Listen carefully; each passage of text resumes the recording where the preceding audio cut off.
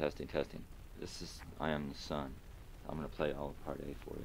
This starts out, um,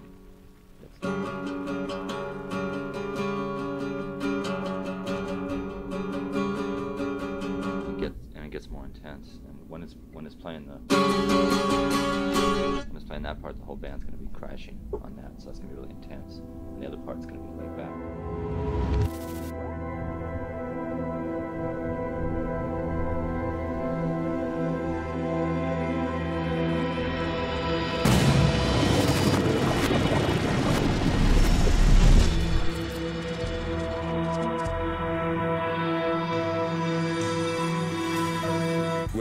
Body end? Actually, it doesn't, does it?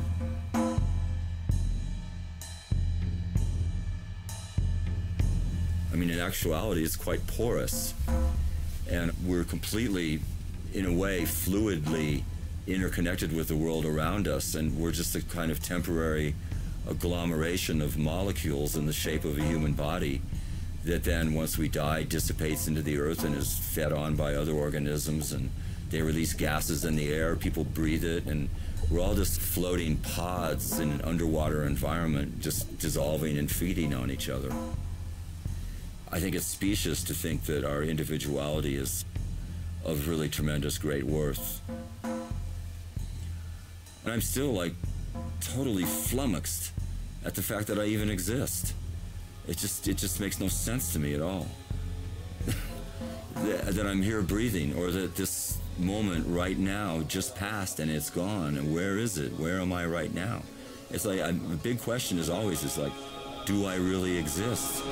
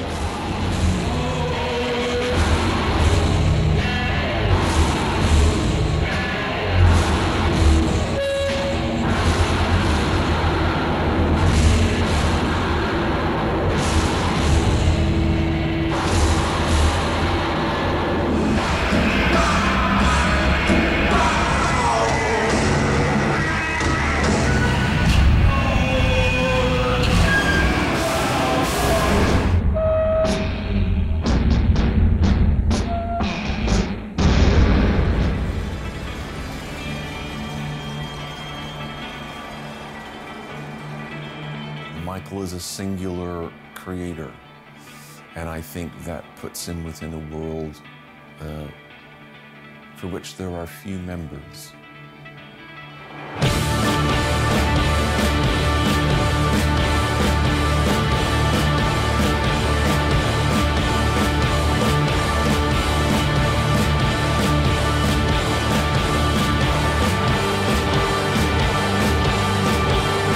There's something sacramental about Swan's music. Michael is reaching in his, whatever this is, you know, in his yearning to make something happen, you know, he's reaching into the mysterious and the sacred, which is what music is.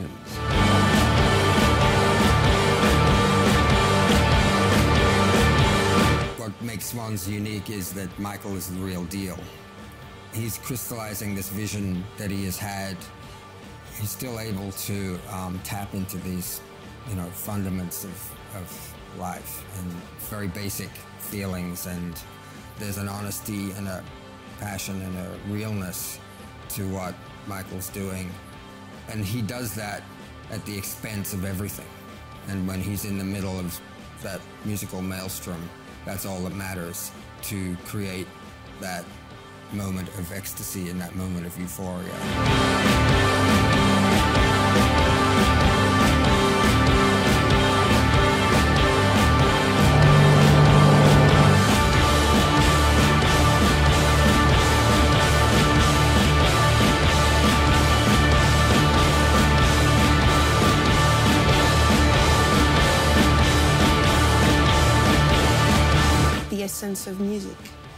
Is regrouped in one single band.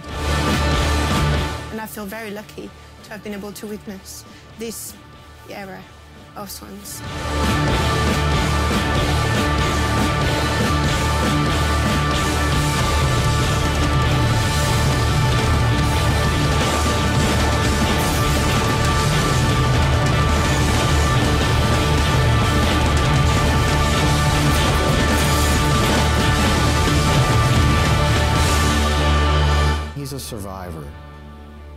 Sometimes you encounter people like that, you know, just people that just won't give up, you know, just, you know, knock me down, but I'm stand back up.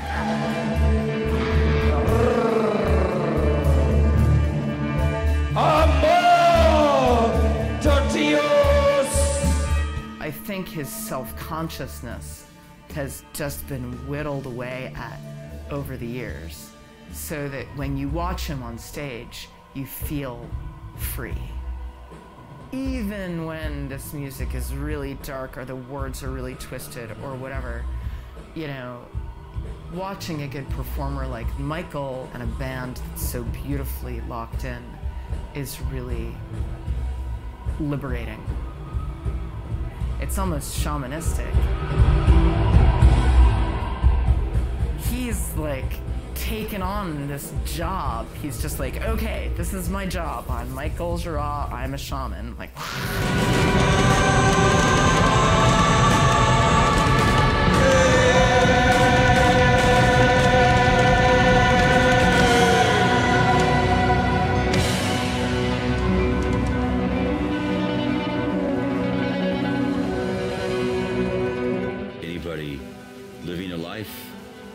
they look at it with deep introspection, would see their life as a spiritual journey.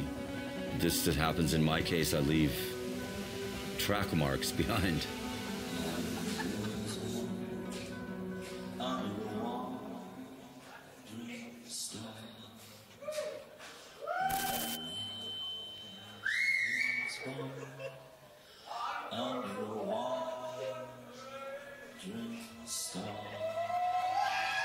You going to mug me? Am I gonna mug you? Is that gorgeous or what, eh? and I believe I can run a decent marathon. Thank you very much. Download Veely now. I think the first time I actually heard about Michael Gira in New York was my band, The Coachmen, and we were flyering our posters around for our next gig, wherever that was. And I remember being inside the club, and the rest of my band came in, and they were just furious. And they're like, "There's these, there's this guy outside. He's a total asshole. He's like ripping down our Coachmen flyers because we put them on top of their flyers." And it's this band called Circus Mort. And the name Circus Mort sort of stuck in my head because I did see their flyers around.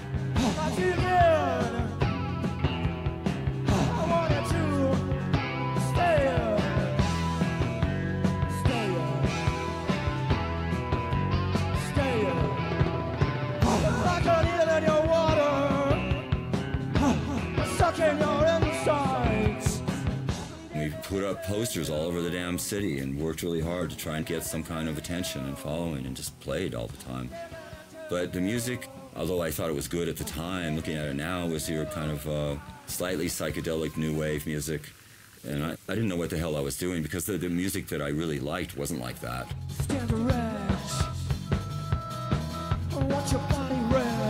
We just decided that it wasn't working, I think. I mean, I think the last show we did, we're all on acid, and that was a pretty strange experience. It just kind of fizzled out. I don't know.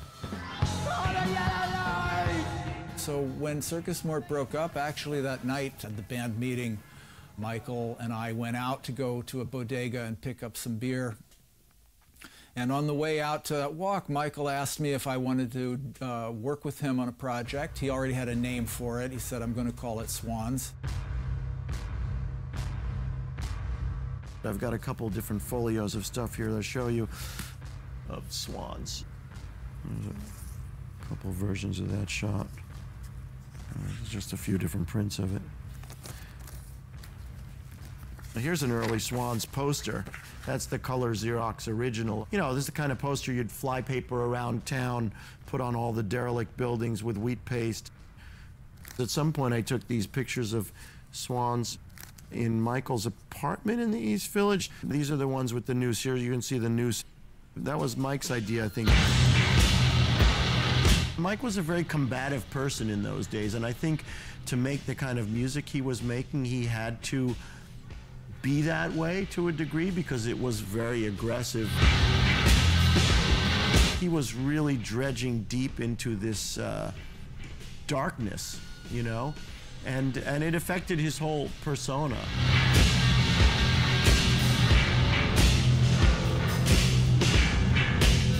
It was a dark period in New York. Mike was living in the midst of that East Village war zone when it was a very heavy time.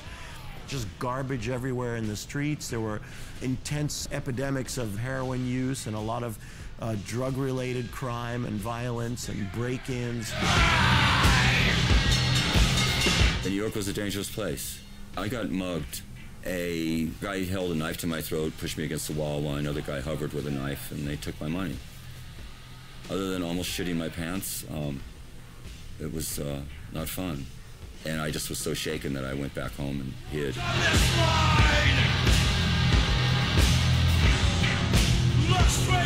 How difficult it was to make it in New York, to just survive in New York. And I think Mike's aggression towards just what one had to do to live, like in a way you had to debase yourself living in these shitty flats and taking some crappy job in order to make enough money to pay your rent.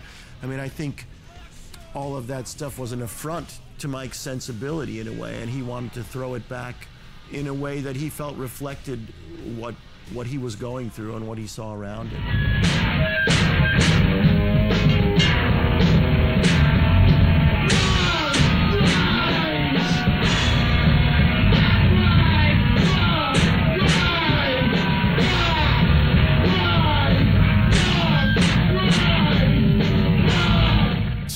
Definitely had their own unique sort of way of presenting things, and it was very much a product of Michael's persona and his aesthetic, which seemed very stark.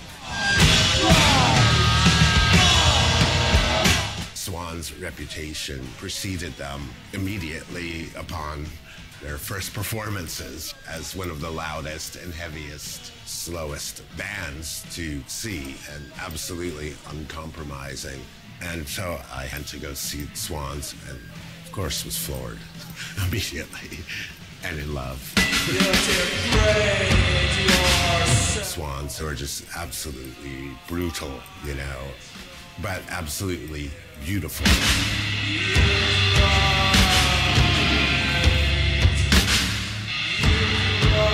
In the midst of that sound in some of those shows in the early days, it was literally like I'm standing there and I'm sort of body slammed by this sonic event. And it would propel me around the stage, propel me into the monitors, falling on the monitors. Or, and it was just kind of about literally uh, an act of very positive self destruction. Wanting to make it sound as violent, caustic, abrasive, and emotionally disruptive as possible. And basically having a desire for more sound, more, more. My first memory of seeing swans was at the Pyramid Club. I wasn't quite prepared for the um, overwhelming nature of what Swans was all about. I mean, at that point, it sounded like it, it was really fully formed. It was very all enveloped. That pyramid gig, he just like, I'm gonna come out here, I don't care who you are, I'm gonna decimate. He was on it, like just, just spreading his blood and guts and everything into the audience. And then I went downstairs into the tiny little dressing room, and Michael was sitting there, his eyes like this, and like a stream of snot coming out of his nose, just sort of hanging, and just like, he was like, he couldn't talk. His, his brain, everything was gone. He was just like, he had just expended himself so much on stage that he was just like, like he was like, an, like a feral animal who just like came running out of the woods after like being chased by like you know a wolf or something and just had been attacked and he was just like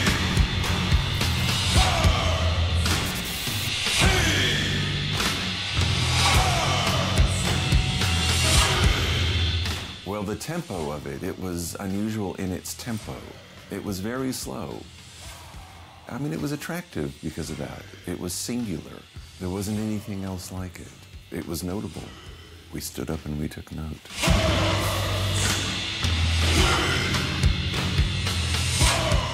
It started slowing down naturally, but uh, to give Jonathan Kane credit, he played me some blues music, uh, and particularly Howlin' Wolf. We gonna play evil. There's a Howlin' Wolf song called Evil. And by the way, I'd been obsessed with that song since I was about 14 years old. Well, if you're a long way from home, can't sleep at night, grab your telephone call. I just found that to be the most amazing, sensual, primal groove possible. His, uh, particularly the song Evil. The rhythm to Evil was the swing time breakdown that was bop, bop, boom, bop, bop, bop, bop, boom, bop. Okay. There's an early Swan song called Blackout, which basically I was playing evil.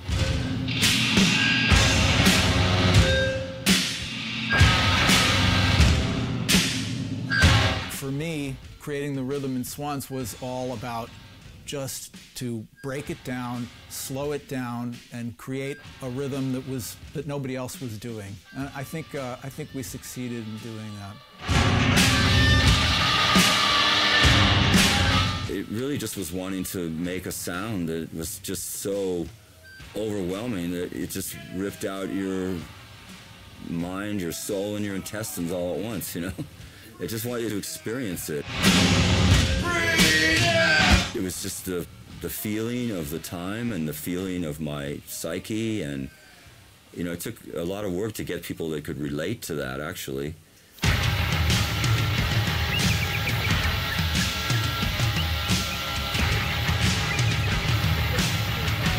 I somehow started catching things on WREK. It was a show called Conceptions, a mysterious show late at night. Power for Power from Filth came on. I was in my mother's kitchen. I was making oatmeal cookies. And I had the radio on, and I was immediately attracted to it. Found out that it was this band Swans, and could not find their album anywhere. What really appealed to me was it sounded very tribal. The slow chords of the guitar and the drums and the sloganeering, the mantra, the repetitive, especially at the end where it's power for power, power for power, power for power.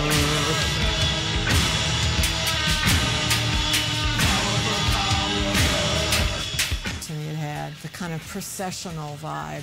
It was very unusual and I could not find this album anywhere. So I drove to the station and I borrowed the station's copy. Swans and Sonic Youth formed a really tight bond in those early days. We really started out together, we rehearsed together, we hung out a lot together. We became really good friends and we were just bombing around. We had no money, None, nobody had any money. We would spend whatever quarters we could find on playing Ms. Pac-Man in these bars, like on the Lower East Side. It really fit our brains, you know. It's like, oh, we just kept doing it and doing it and doing it. And we kind of, you know, found glory in our poverty, you know. I started a fanzine just then called Killer, and I had put Michael on the front where he's screaming in a microphone killer fans. Eh?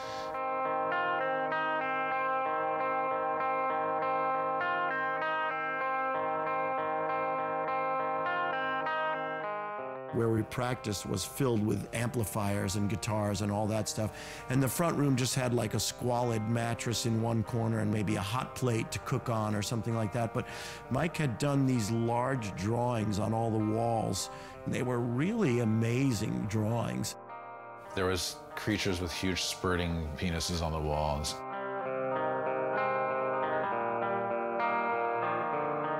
It actually looked amazing. When you see a spurting penis in graffiti on a punk rock club wall, it comes across as some kind of juvenilia hokum. And I really, that's not the sense I was getting from what Michael was doing when he, he you know, I, I didn't. I, I, I thought he was actually very artful. That bunker became like this real factory of Michael Gira mind explosion.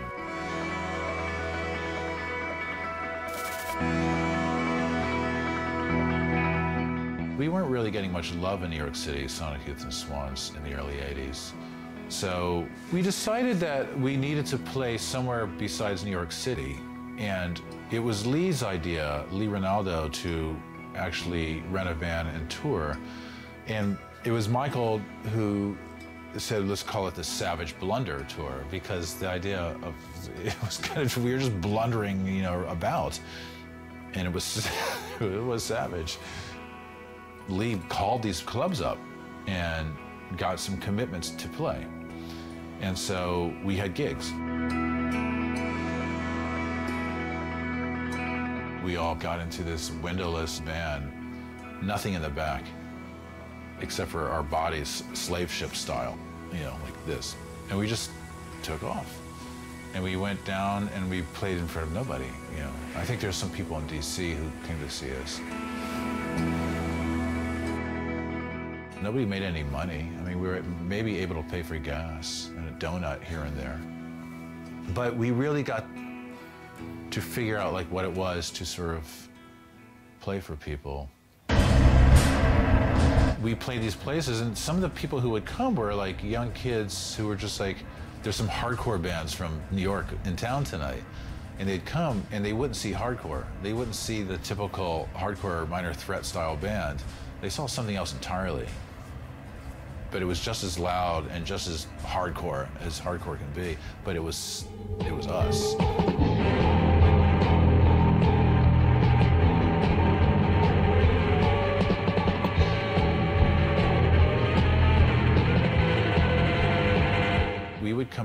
Generally first because following Swans was not a good idea because they were so ferocious. We were both, in our own ways, pretty extreme bands. I mean, Sonic Youth was playing in all these weird tunings and doing stuff with our guitars, drumsticks, and screwdrivers under the strings that people hadn't seen before. And Swans were this incredible high volume onslaught with double bass guitar and people banging metal percussion and things.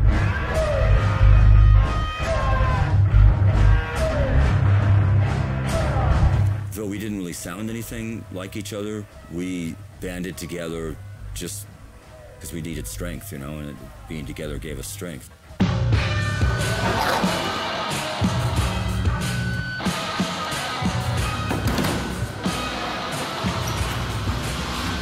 I was about, let's see, 22, 23. I had never seen swans. I had heard about swans, but I had never seen them. Harry Crosby approached me and he said, You should come and audition for this band I'm in, Swans. We're looking for a guitar player. Michael's instructions were you play low, and then when there's a signal, you play high. And just feel the music. I suppose I passed, I guess.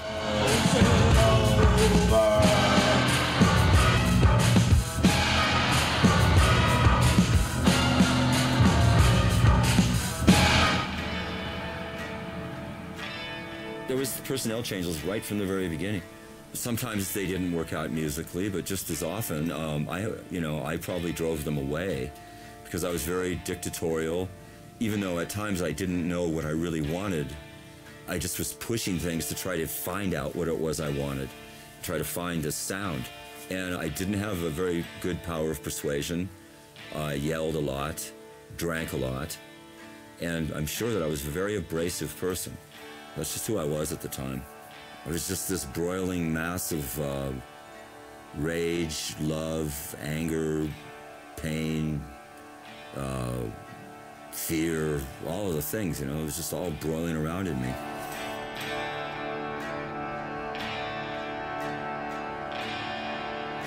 I was at his place and he got a fan letter from Atlanta, Georgia. And the person's name was Jarboe, and it was like a really interesting fan letter because it was asking kind of uh, questions about Swan's music and himself that were kind of striking, as if this person who wrote this letter was really curious about this individual and it was kind of relating to this individual.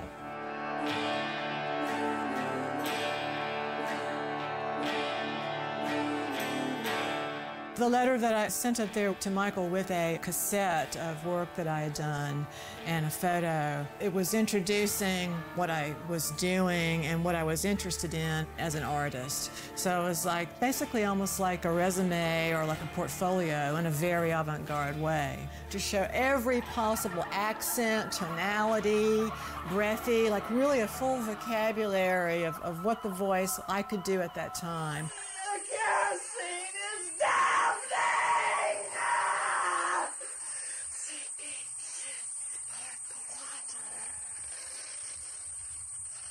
So I put that on a tape and I sent it up there with a hand that could have a magazine with these claw fingernails. I photocopied it.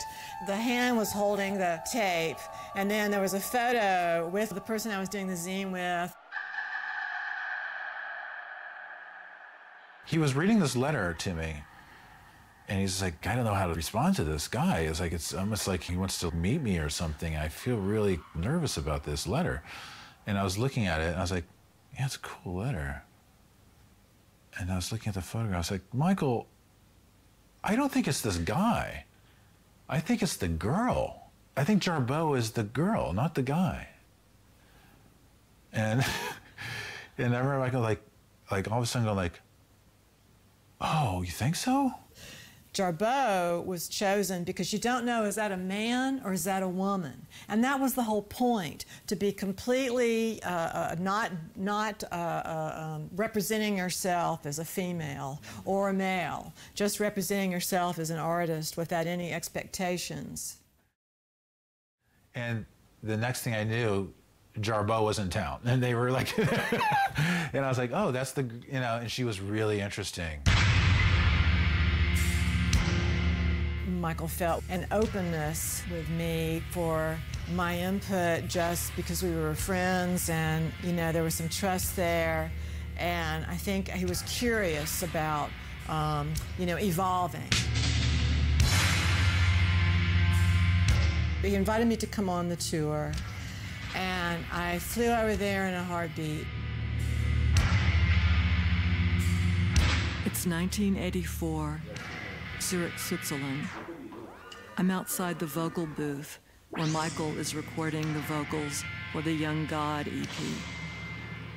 At the time in Swans, Michael was shouting and screaming his words. I suggested he try something new, something different. I really wanted to hear him attempt to do long, heavy, deep, kind of from the from the deep in the chest notes instead of just this, the shouting and the talking and the, and, and, the, and the screaming, do more, more like vocalizing from a singing point of view than I had suggested during a break, you know, just through the door, just try that.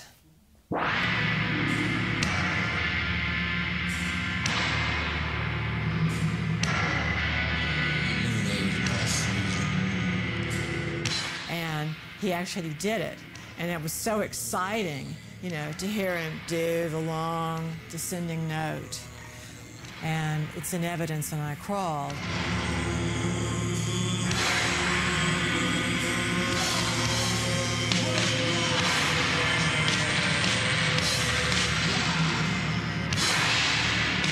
And this was really, I think, a major move forward, in my opinion, for his vocal style and for the way he would approach music.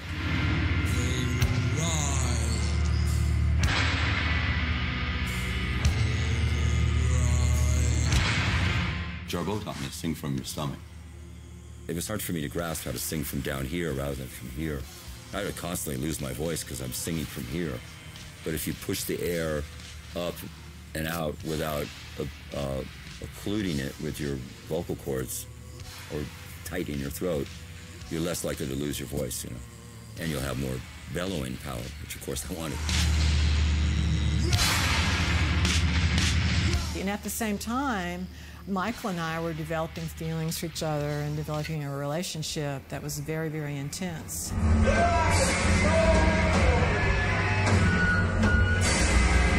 The show at the Loft in Berlin, he took his entire earnings of that show and he bought me roses from a street vendor in Berlin. And this is kind of a powerful moment for us in terms of our communication and bonding, you know?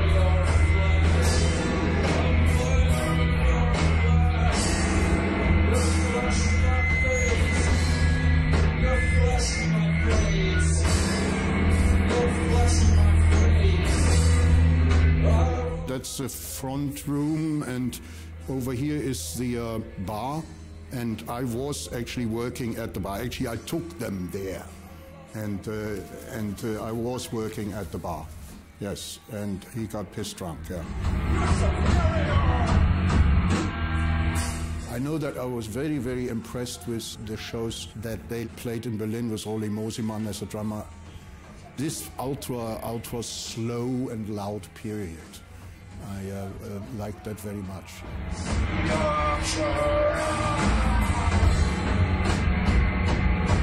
I wanted to be part of Swans. I was unstoppable force.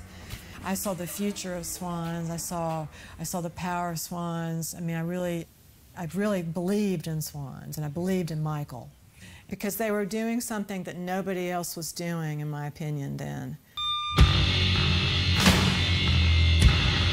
Rob Collins had started a satellite label of um, Some Bizzare called K422.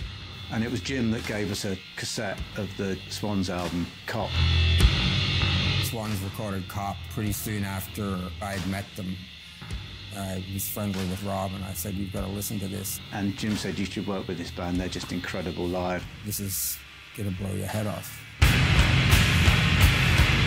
The offer was made, yes, you know, we want to put out your record, we want to record you. And I remember walking um, to the streets of London after that meeting, and Michael was just like on cloud nine. He just had this big smile on his face. He was almost like dancing on the sidewalk. He was so happy because this was a huge, huge moment, you know.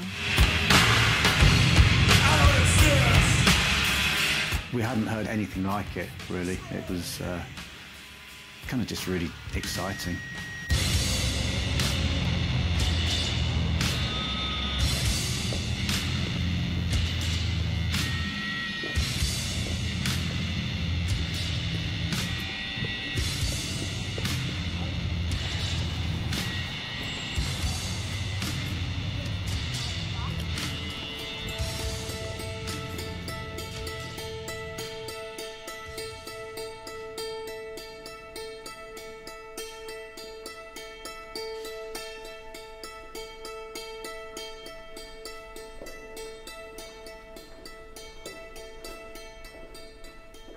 Michael is a person I feel had such an incredible early life filled with a lot of intense experience and intense emotion that if he had had any musical training, it might have gotten in the way of him accessing those emotions and releasing those into his music.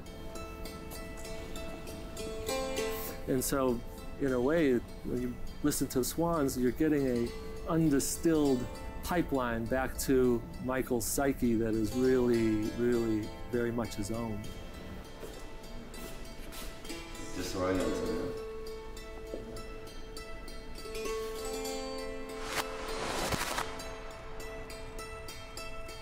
From a young age, I felt completely separate from other people. Like I didn't really have a uh, relationship to society in any clear way. I felt self-sufficient and also kind of um, abandoned and on my own in the world. And it was my uh, place to claw my way out of it.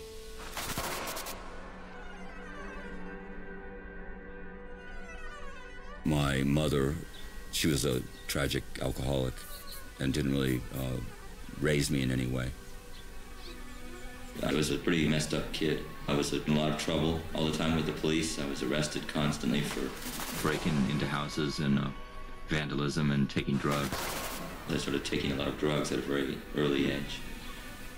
When I was 13, I had a big baggie full of Seconal on me, and I was just falling over and stumbling. Someone called the police, and they came and they arrested me with all those drugs.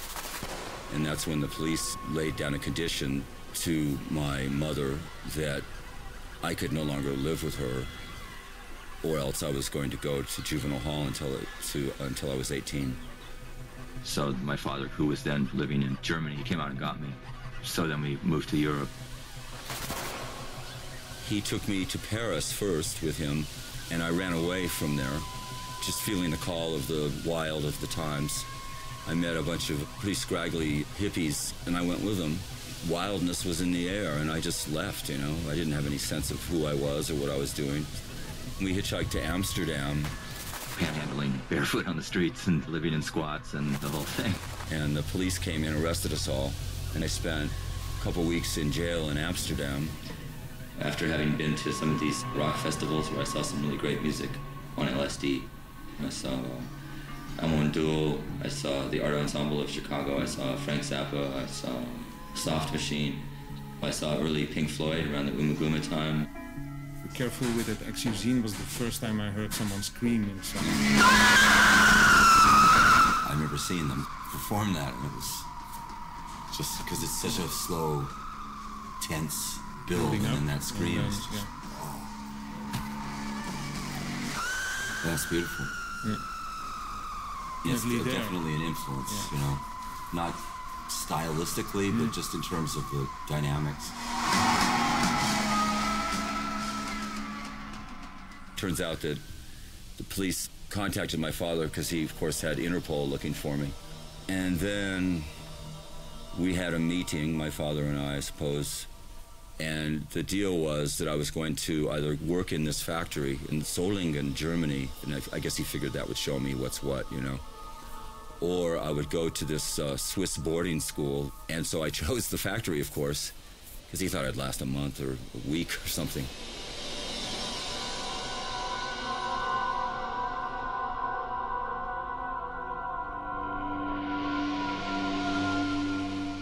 To me, the Swiss school just seemed like prison camp. So the next day, these older hippies and I, we decided to go to Israel. So we hitchhiked from Solingen down through Germany and through Yugoslavia and then through into Greece and then went from Greece over to Turkey and stayed in Istanbul. Pretty penniless.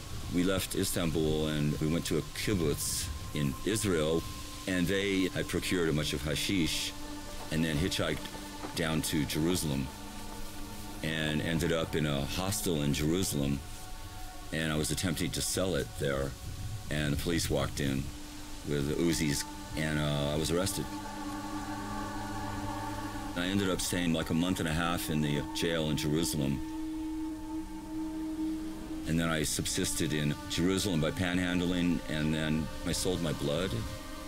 I went to trial, and I was given an additional month. It was supposed to be a juvenile prison, but I was sent to an adult prison. It was horrible, and it was something that a young boy shouldn't have experienced. In prison, I realized the most important thing was time, because anybody that's been in jail knows that time crawls, and uh, there's virtually nothing to do. Um, I did read a great deal for the first time in my life, and that probably helped me a lot. Do you think that had any bearing on the rest of your life? And maybe also a sense of urgency? Yeah, sure. I was like a panic to, to get shit done, you know, to make sure that I actually did something. And I, I still have that to a certain extent. I mean, I think we all should. It was the Dalai Lama that said that if death was staring you in the face at every second, you'd be in the correct consciousness. My father must have been out of his mind with worry. And that's the, uh, the kind of solipsism of youth. Once he found me, my father sent me back to Southern California.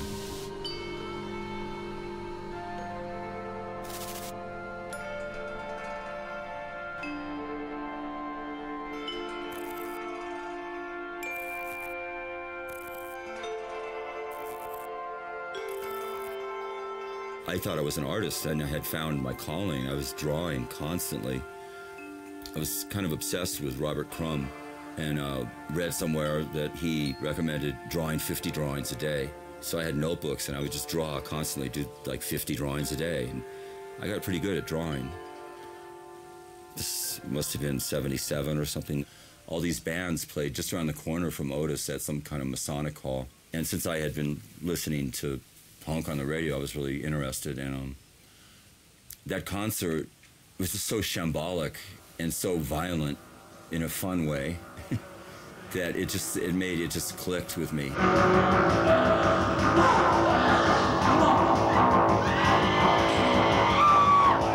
I had seen Suicide play in Los Angeles and they played at a tiny little place with no stage at all, so the audience was at the same level as them performing. And they were typical LA audience, pretty close-minded and couldn't deal with suicide. And so they were spitting right in his face as, as he was performing. And and he'd just go, oh, oh, and he'd put it in his mouth and say, oh, thank you, thank you, thank you. Hit himself with the microphone and then continue. And to me, that was just utterly inspirational punk just seemed to be saying all the right things, which was it kind of embraced, swallowed up consumer culture, and then spit it back out at you in a kind of mangled form.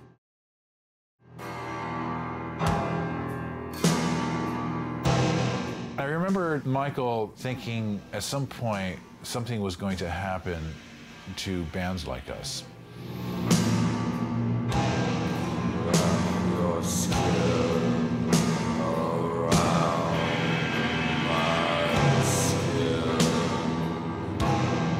I saw Swans February 86 at ULU and reviewed that gig. And that was it for me. That was it. I don't mean to speak in cliches, but I didn't actually have words to describe it except when I had to put it down on paper. And to this day, I still don't have proper words to describe what happened that night.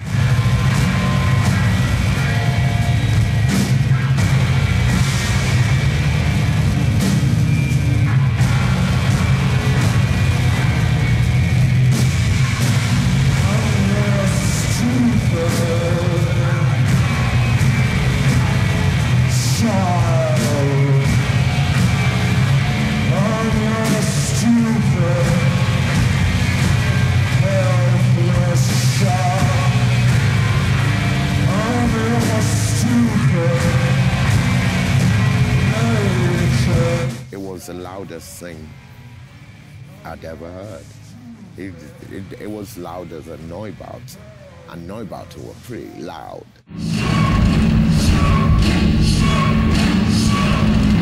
Swans were not into protecting your hair, and you know, so there you go.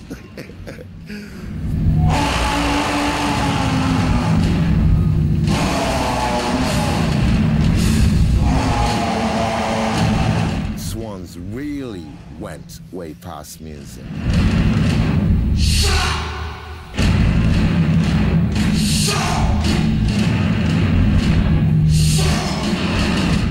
Michael and Swans at that time were interested in finding out what sound did, just raw sound, seeing what it does. Almost like a like a gun at somebody's head and see what happens.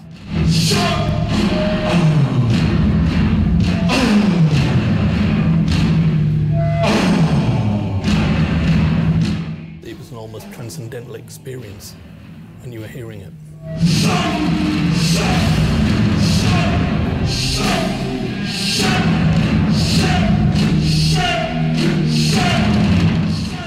There weren't many people who wanted to review a Swans record or go to a Swans gig and review it. For hardly any. You know, this uh, you could sit down and try and persuade people. They'd just be, no, you know, you're off your, you're off your nut.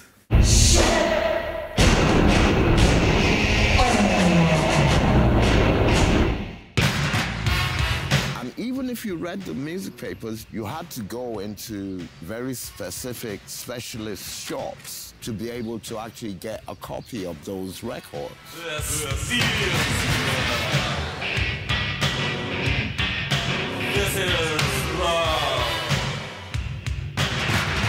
Open your mouth.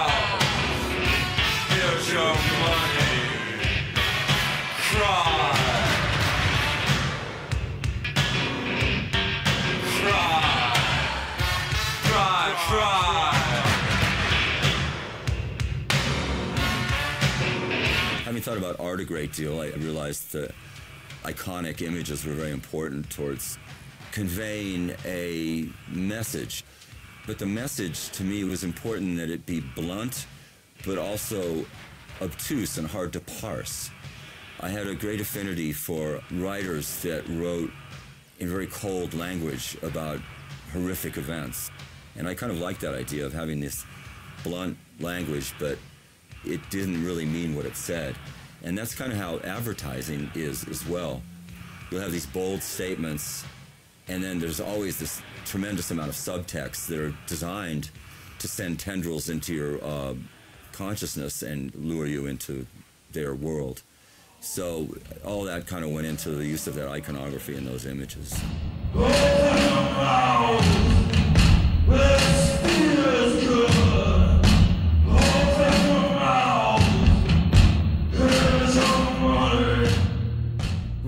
Michael, he would always say these really primal things like, um, I love you, walk away. Walk away.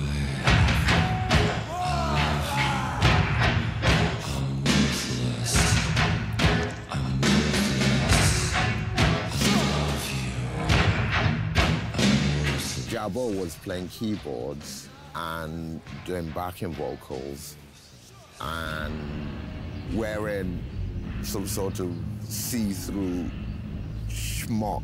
And it was something else. And people didn't know what to make of it. People did not know what to make of it. But Jarboe was brilliant.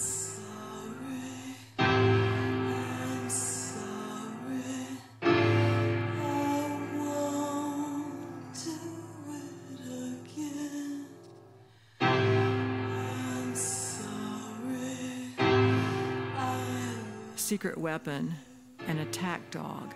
Both expressions Michael would use in interviews about me. And what it meant to me was the unexpected element. I remember the first time I opened a show singing. I was alone on the stage singing to a loop on my keyboard. It was like being a sacrifice, like a sacrificial lamb, and I actually kind of enjoyed that because it was a way of reflecting how strong I could be.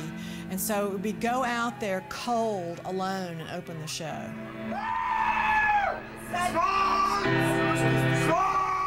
I'd be kneeling on my knees, you know, singing blackmail.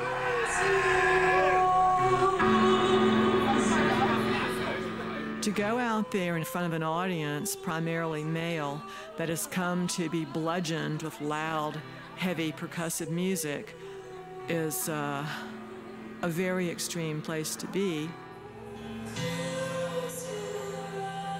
Here you are, you're offering yourself, you're completely vulnerable to them. So, coming out alone, woman, and singing to them, it's like they're being set up for what comes later. And I think in the case of those days, before I developed my own audience in the band, it made them angry. So I had things thrown at me, uh, yelling, spitting, um, every insult you could possibly hurl. Show us your tits was one of them. And I didn't miss a note because the attitude was like, you're not going to even phase me. I'm not going to even react.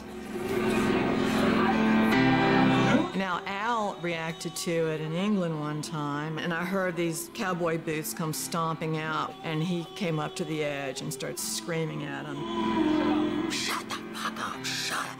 And of course, I still continued to sing unfazed, you know, unfazed by Al or by the audience.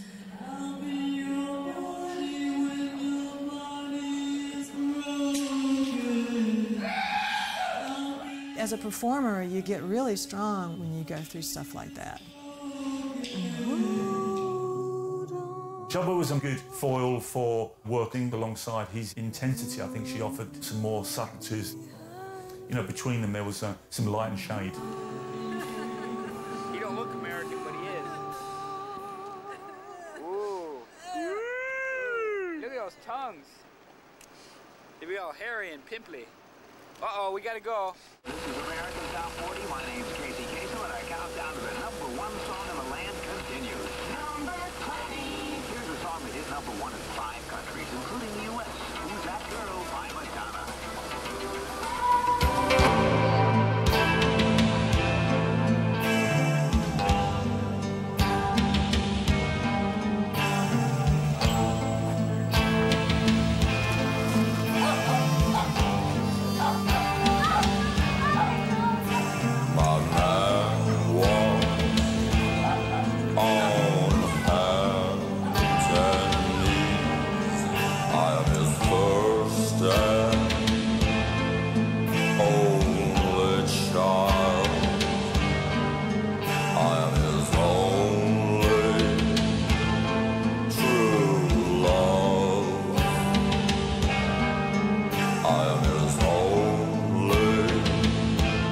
Children of God was just like the bolt from the blue because you, you don't know what to expect, what's coming next after, you know, what had gone before. You don't know what to expect. Just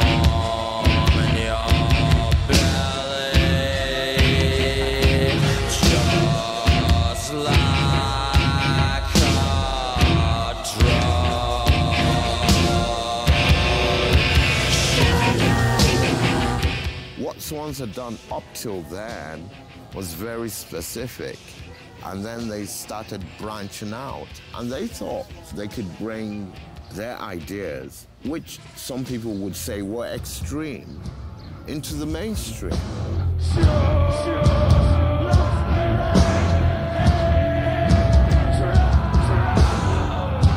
How different Swan's music was compared to everything else going on at that time.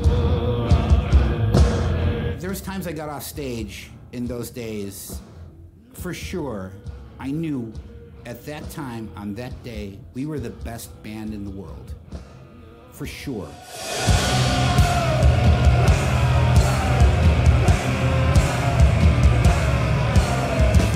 Children of God kind of grew organically out of being obsessed with the money thing, and it, I was just thinking about religion and sex actually as being one more kind of way of subsuming yourself in in um, an entity or ideas outside yourself.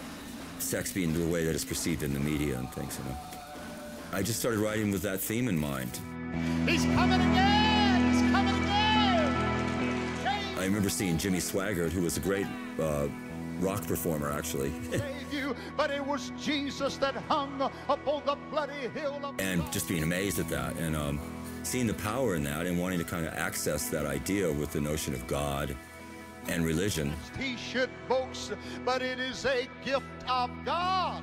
I was just accessing that language because it seemed ripe. Without really moralizing about it. Get in it and serve God and worship Jesus with all of your heart.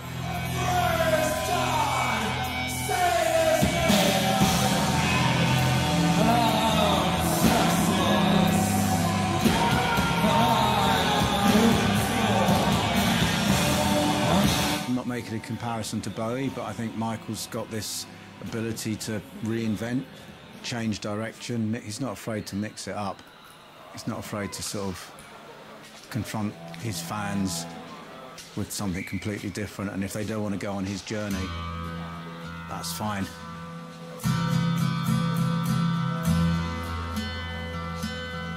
Gradually, I started to suffer under the illusion that I could actually sing songs, and I started to write songs on acoustic guitar, which were uh, tentative affairs at best at the beginning.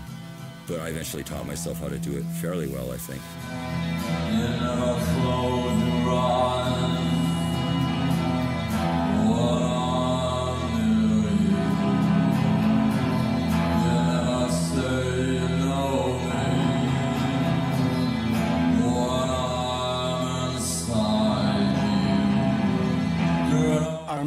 A conversation with Michael before they made Children of God, and he was telling me that he wanted to bring in acoustic guitars and have more of a song-based structure to that record. And I was a bit shocked because I, I was just like, no, I just keep it loud, just just keep the volume and the intensity. Nothing inside you is real. Nothing inside. Hopefully, people uh, were able to get something real out of it. Cons- Consistently trying to break through things and get to a place that had a light in it.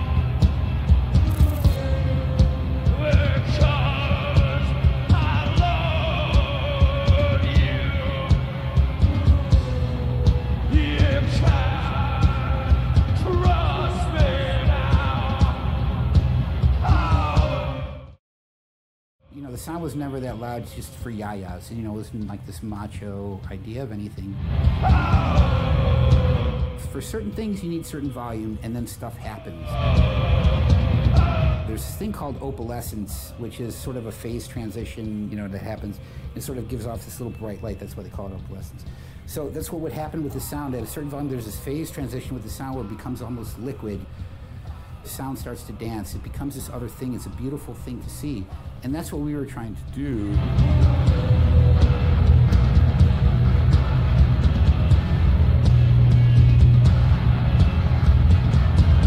I remember on stage, the, it was really a good feeling, a good atmosphere.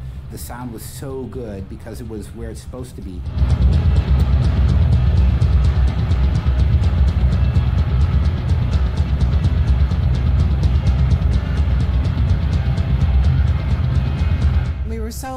We went over the curfew, and so they pulled the plug on everything but the vocal mic.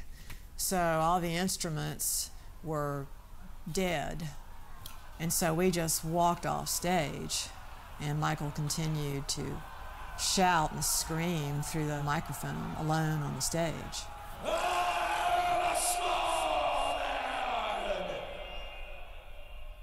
So I don't think that was particularly polite, but they just cut you off.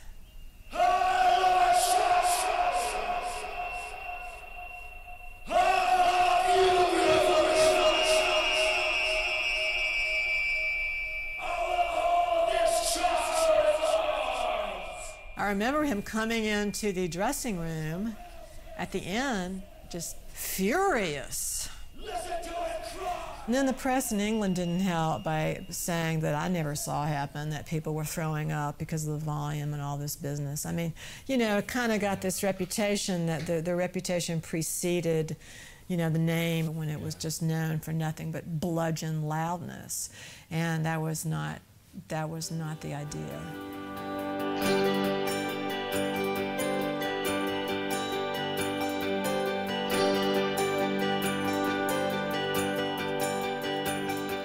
Now I've got nothing to look Do you find that there's a chance that you may break through now and get some attention because you've been around eight years and still swans are only contained within their group?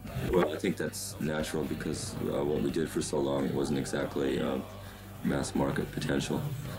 Although I was reminded by a friend of mine just recently that I always never could understand why it wasn't on the charts, but considering what it was, I don't think that was a very realistic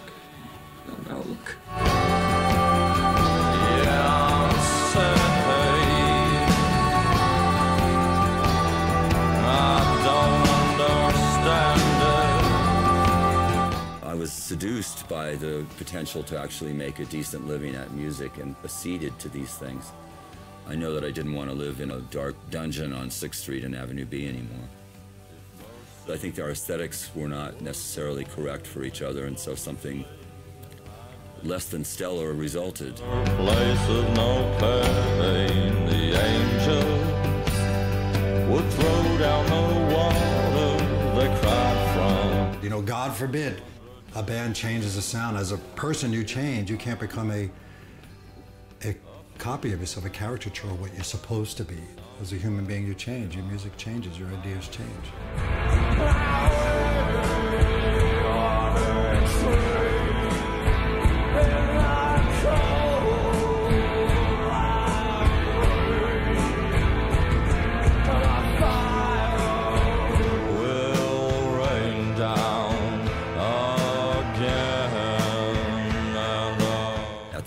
That was working out.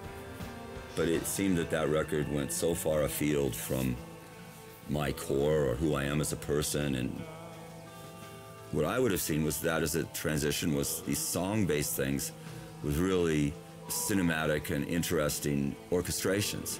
And instead it turned out these kind of discrete orchestrations that were not expansive, you know, and I lost control of it and it didn't, but it's my fault that I lost control. It lost its center. And she holds me. The gloss of Burning World to me was the issue. And she smiled. This was a terrible, terrible misstep. The songs themselves are fantastic. The songs themselves are amazing. But still, we weren't allowed into the mix, you know. We weren't even allowed into the studio. It was just too artificial an experience.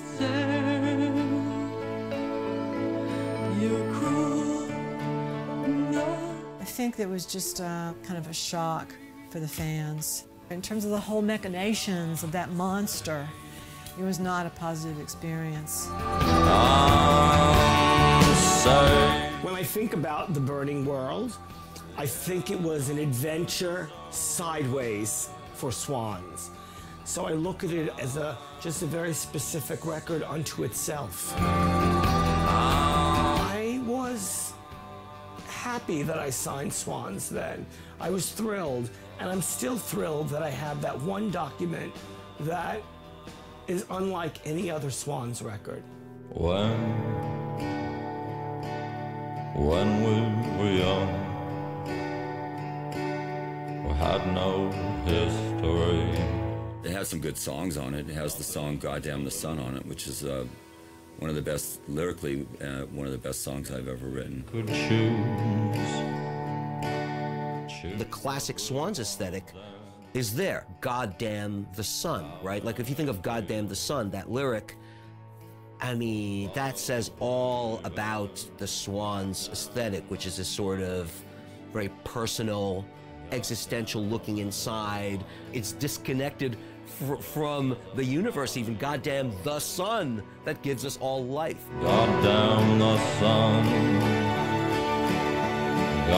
When one signs to a major label, your expectations is that your record does really well and it sells in hopefully the six figures. But sometimes that just doesn't happen. It's about timing. Uh, and I think the timing of Uni Records was off. The damage from that, just psychologically, uh, to me, uh, there was a loss of confidence. It always seemed to me that swans were waiting to be accepted. You know, it had nothing to do with the, the sort of material they were putting out, because like Burning World was very accessible record, but it seemed like it was Sonic Youth that were getting more attention.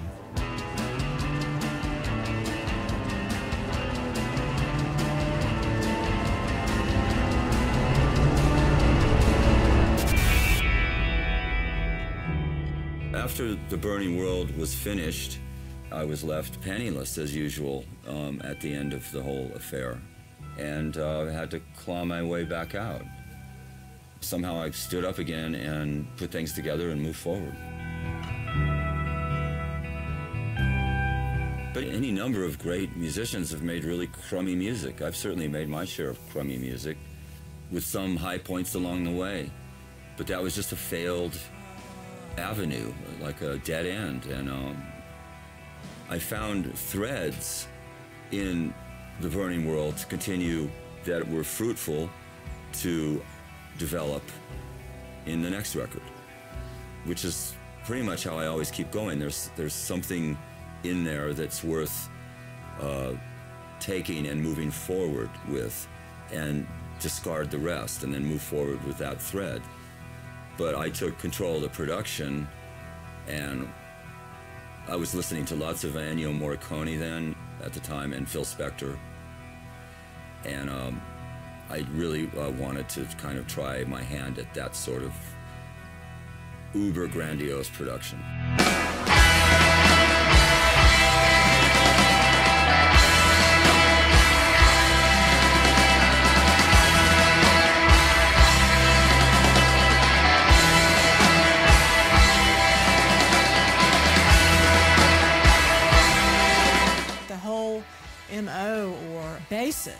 Of Swans was the idea of have a sense of urgency and persistence.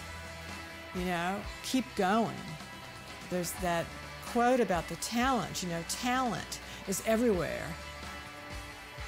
The world will never hear from them. The world will never see it because they don't leave the comfort zone and just be persistent and keep going, keep going, keep a sense of urgency.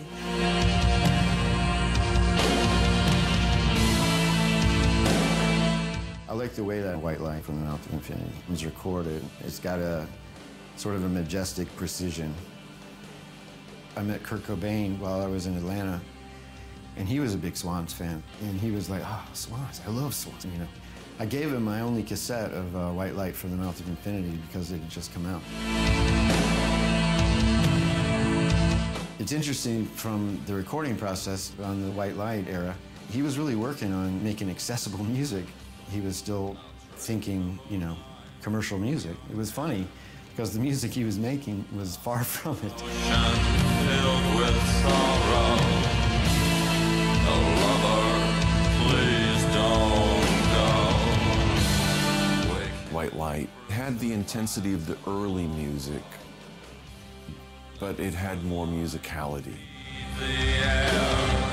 I wouldn't have accrued the knowledge necessary to make White Light without having completely fucked up on Burning World. So, in a way, failure is very good because that's how you learn. Of the punishing burden of failure. I don't deserve to be down here, but I'll never leave. And I I write to create a mental experience. I did not sit down and say, well, I failed at MCA, now I'm going to write a song of failure. of failure.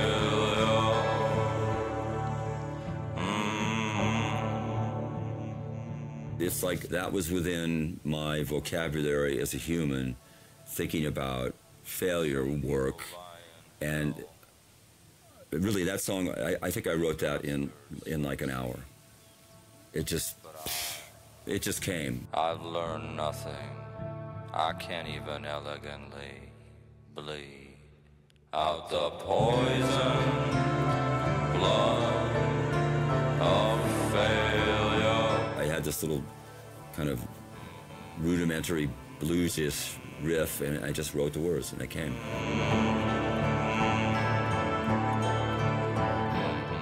I was trying to steer him more into this Americana potential that he had.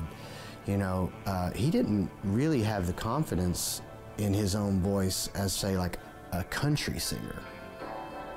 Man, you have the potential to be like a, you know, like a Ray Price or something, you know?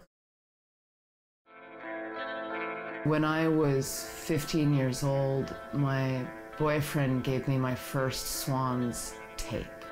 And like there was Swans and I didn't love heavy music, but when I heard Love of Life, I was like, "Oh my god, I get it.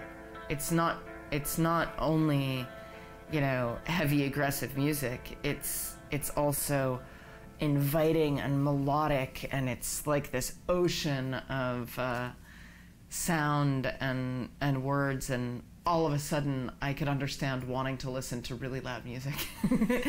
and I remember thinking like, the Burning World and Filth and Love of Life like sounds like three totally different bands. Like, what's the deal here? To me, you know, in my years, those are beautiful, melodic, dense and melody orchestrated albums, almost symphonic. They're so orchestrated. Those albums have depth to them that are new.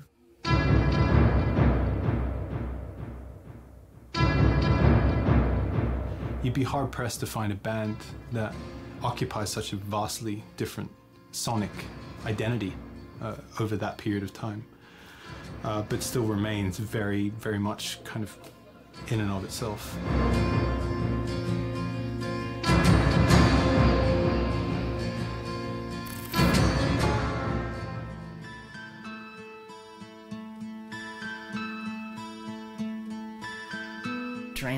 Is the record that actually really sticks with me. I remember listening to You See Through Me, listening to that recording about his alcoholism.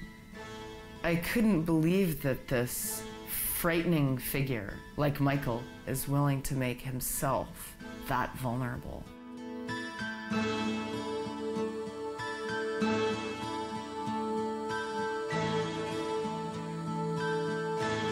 The alcohol was getting out of control.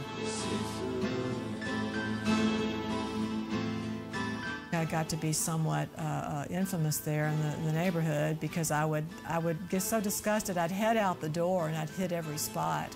So I'd go into the bar looking for him, you know, to try to get him to come home. Sometimes he'd come home at dawn. So was, that was a big problem all the time.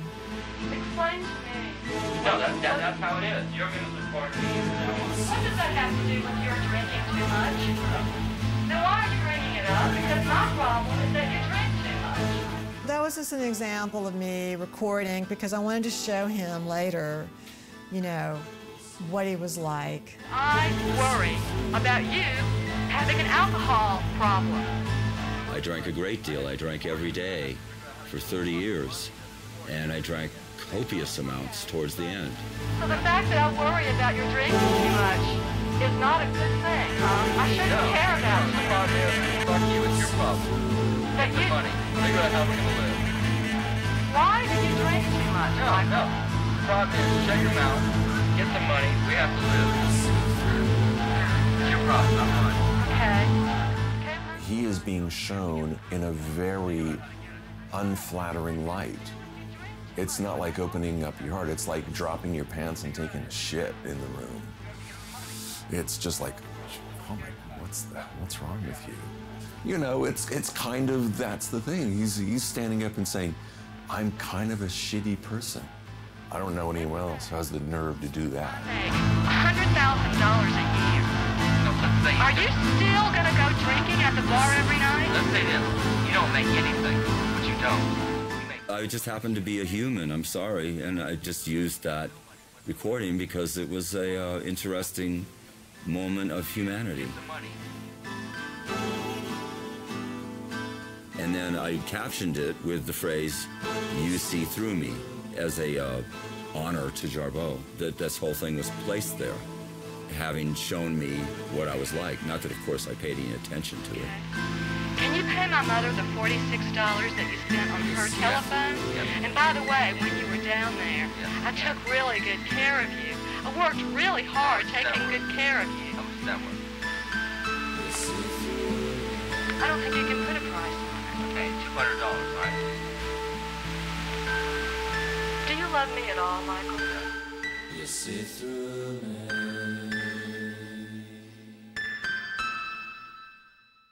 I had called from the studio.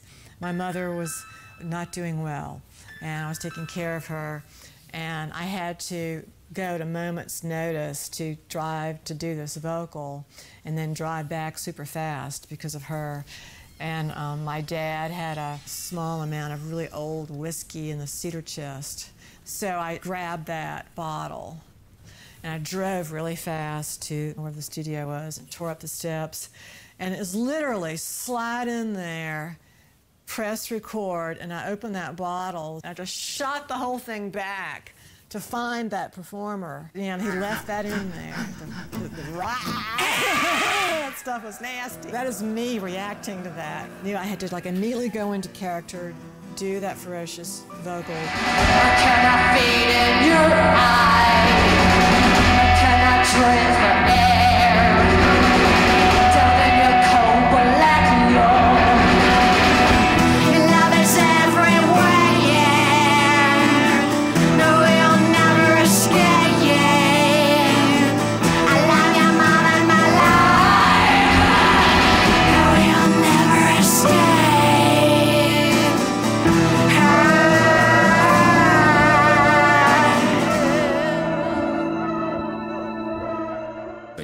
Soundtracks for the Blind was the last Swans record. Kind of a summing up and an expulsion of all the ideas that had happened previously.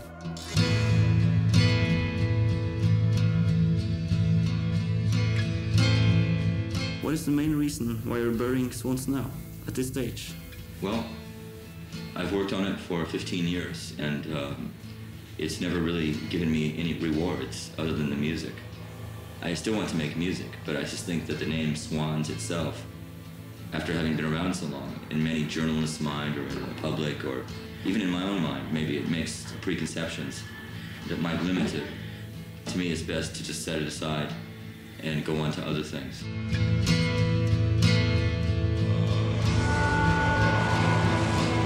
The whole history of it, the aesthetic approach of it, the perception of it in the public, everything was a straitjacket at that point to me. And um, I just thought it was time to end it. It just couldn't, it couldn't go any further. I just thought as an artist it was time to kill it. So I did. And simultaneously, I guess, Jarboe and my relationship was deteriorating. And uh, I just felt it was time to just cut the rope. People would assume because you broke up as a couple, the band ended, and I would say, no, the opposite happened.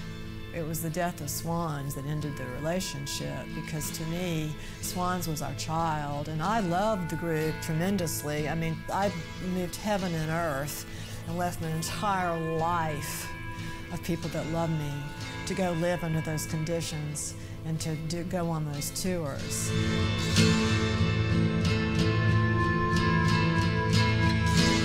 Now that was announced to me. I was not asked my opinion about it. And because of that, I had an internal rage.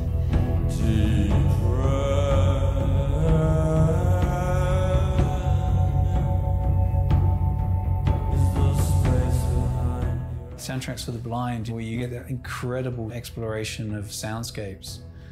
To me, it was always a natural progression that that work would happen.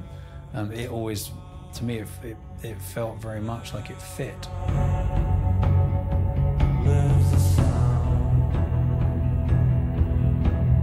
There's an aesthetic principle behind it all. It is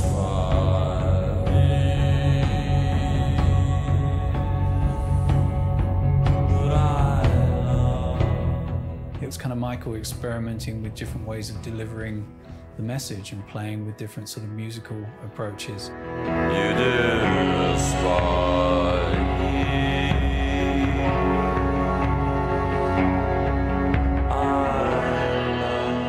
I started to think about the music as soundtracks, and I started to look at it as always emerging or evolving environments that may or may not have some words in them. My inspiration was to make soundtracks, but not have a film. That's what every record from White Light on has been. When it comes to the production, it's really about making a soundtrack, you know, of one big experience. It's more about making a sonic environment for people to live in for an hour or two. Today I do not have a fever. I feel about the same as I did yesterday. The personal aspect of that album were the recordings made with our family members, with my mom and with his dad, who was going blind. Uh, I- I'm what they call uh, legally blind.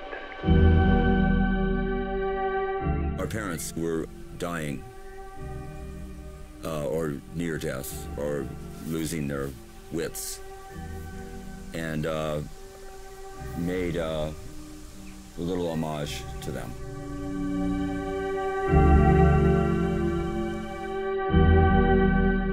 you know, making it, putting it together, and getting all the source material. And it was a very, um, almost like a, um, I don't want to say diary, but a slice of life of, of, you know, what was really going on on a deep personal level. They tried to seal it together I'd lose my eyesight. That, that you know, uh, oh, oh. I just looked at all the material as being of potentially equal importance. I had tons. I had trunks of floppy disks of uh, samples I had made over the years, and um, those were all fodder. Everything was available to use to make this sonic uh, picture.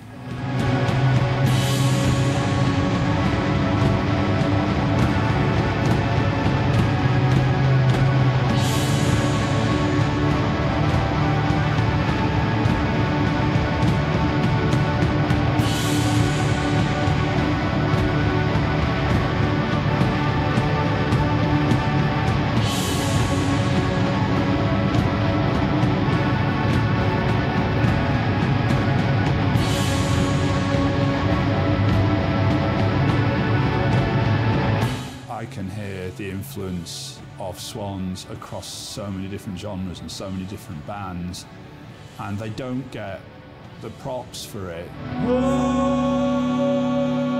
Often in music, there's no first prize. You don't get the prize for being the first person to do a particular thing or among the first people to do a particular thing.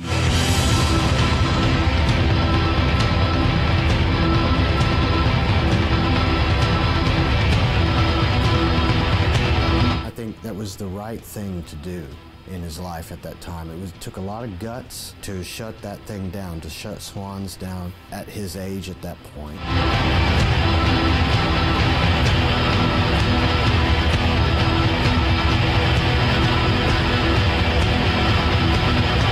It made no sense to me after so many years of struggle when I saw things getting better. Everything was getting bigger. The size of the audience, the choice of venue, just everything was getting, in my opinion, so much better.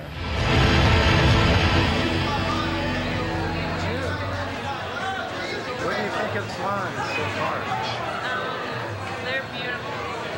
Uh, did you know that this is the last Swan show here? That's what I've been told. That's a damn shame.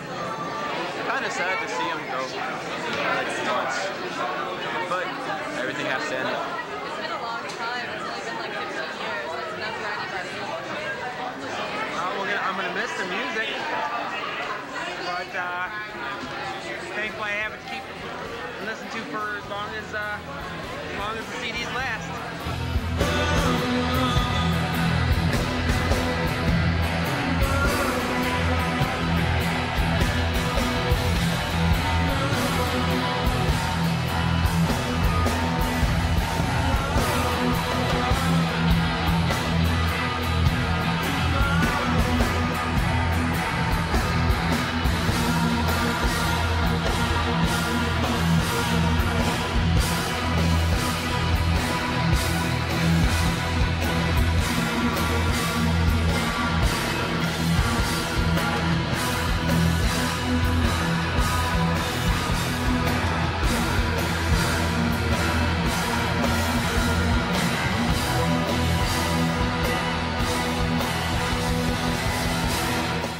Seemed that the relationship was dissolving every night in one way or another, not necessarily on stage, but around the stage during the traveling portion, the sound checks.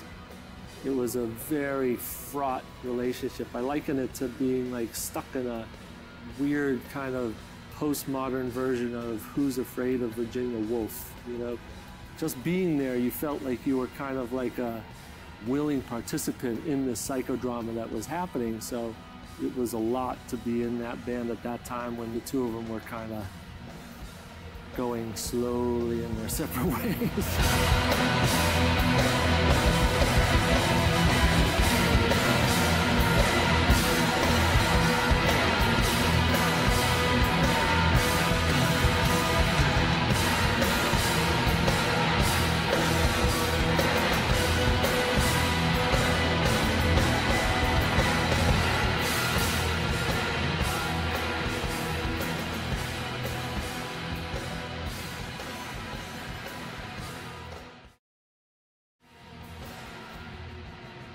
Life of a performer, there are these moments that are magical and transcendent.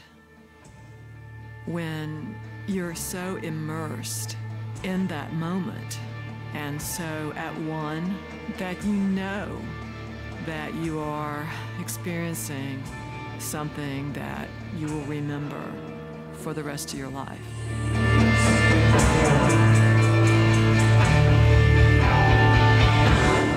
I Crawled performance is one of those moments. That was a whole, in my mind, a whole theater piece of multiple characters to let those come to life from almost like a seductive, breathy voice.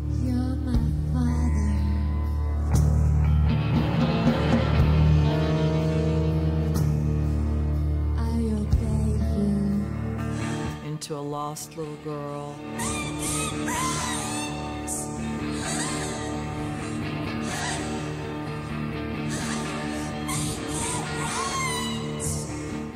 Come down hard with the beast. A very, very low sub voice, which is a growly, uh, deep, ferocious tonality. And I was completely going into that role. And I was really in a trance like state where I rolled my eyes into the back of my head. I had no idea I was doing that.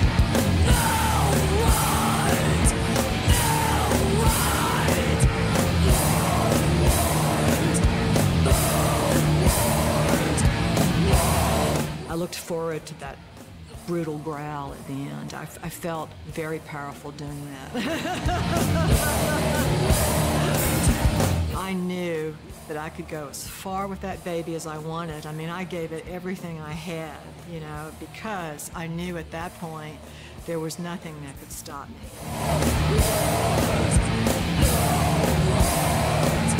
The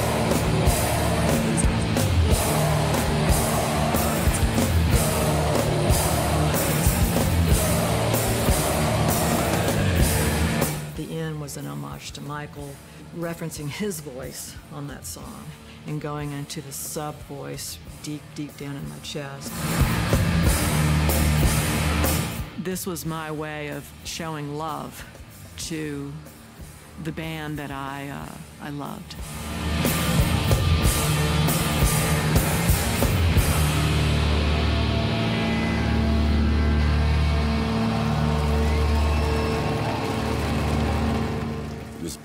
Poignant beyond description to be playing to these, for us, huge audiences around the world. But it was the last, it was the end. And we knew it was ending. And for me, it was, I cried on stage a couple times. It was just a bitter moment, bitter and sweet, of course. Yeah, it was the end, and I didn't really know what the hell was going to happen next.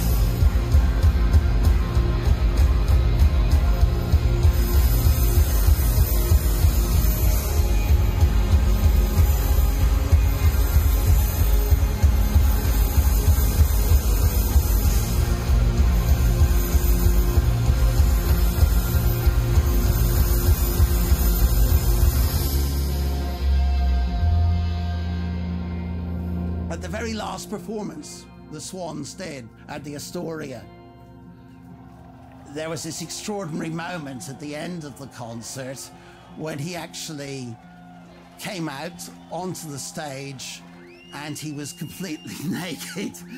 And it was to be a goodbye in a sense, but a very powerful one at that. I thank you for your kind attention, and we leave you now forever. Goodbye. I thought of Swans as a failure. I thought I'd failed.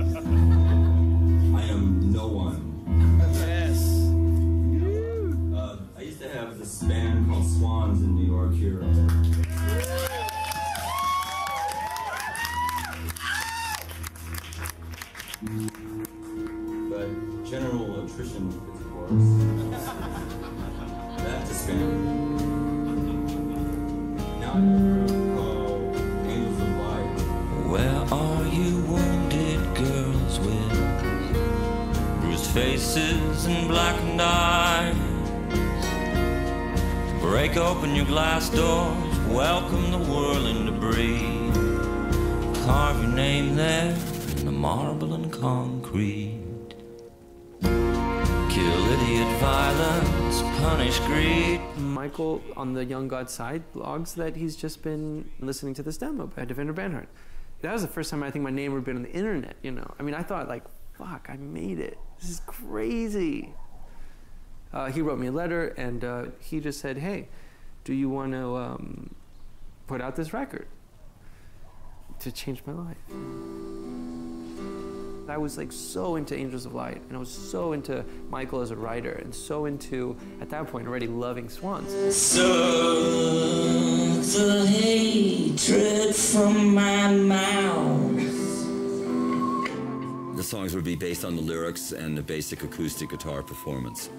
And that was a huge challenge to me, which made it interesting. Was for me, coming from the history of Swans, that was a huge challenge. So I pushed that. The credo or the agenda was always that the song had to be good, just played by me on acoustic guitar and singing.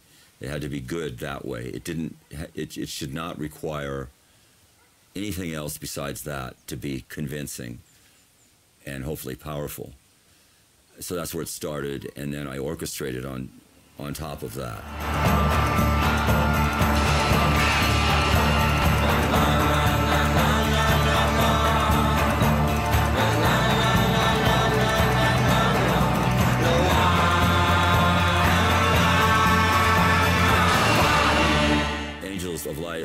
Unfortunately, was a failure in terms of reaching a large amount of people. I'm still like totally flummoxed that I'm here breathing or that this moment right now just passed and it's gone where is it? Where am I right now? It's like the big question is always like, do I really exist? He never wanted to be a romantic hero or be worshipped. This is going into the whole punk attitude refuse to be put on a pedestal, refuse to be a star. Michael called me in the end of 2008, one day out of the blue, and was just like, "Hey Todd, I'm writing songs, and they're kind of angry. I haven't written any angry songs like this in a long time, and I'm actually thinking about calling it Swans again."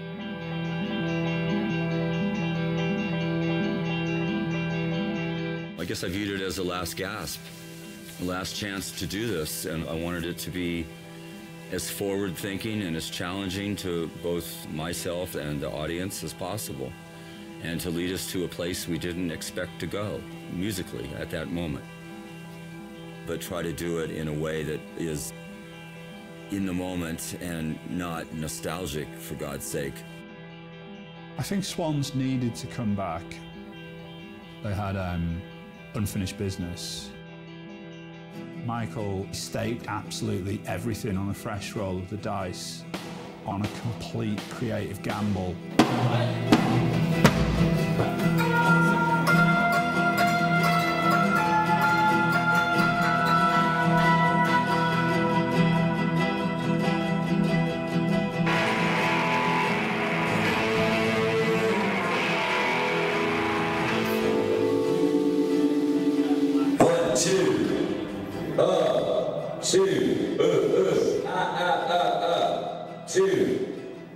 Was very nervous, but for someone who's had a lot of disappointments, I was fully prepared to tank and to fail completely. And so because I was prepared for that, the potential for catastrophe did not have as much weight. So when it started to become successful, I had no expectations for that. But when it started to become successful, it was wonderful. And I just appreciate it and don't uh, count on that ever at all. I think Michael has done something which very, very few artists do, which is that he has continued to stay true to himself.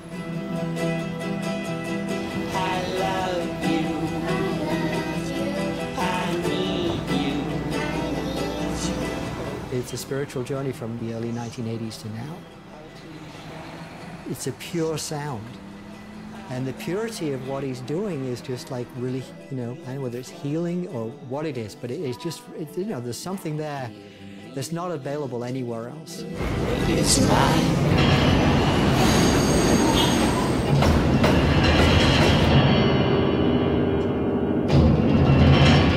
When I saw Swans play for the first time, it was at the Bowery Ballroom. And, I'll never forget it because, you know, usually before a band starts, there's this sort of pre show mixtape that they have playing or something like this that people are just kind of mingling to. But Swans, like, you know, they just had a tone playing. And it was just this really loud tone.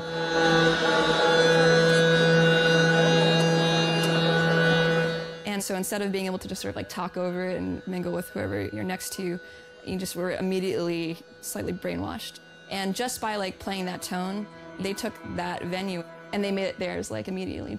And so everybody's just blissed out on this tone and everybody's like, yes, this is Swans. I'll never forget it, so yeah.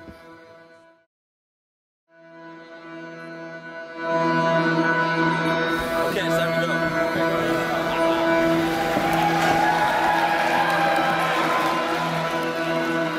I just thought that before I died, I wanted to experience the kind of uh, maelstrom or the swirling tornado of sound again. I wanted to be inside that sound again.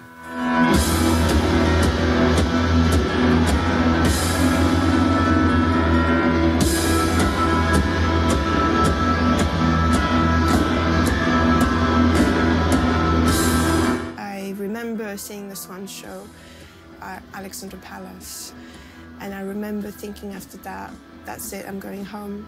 I've seen, I've seen what I need to see.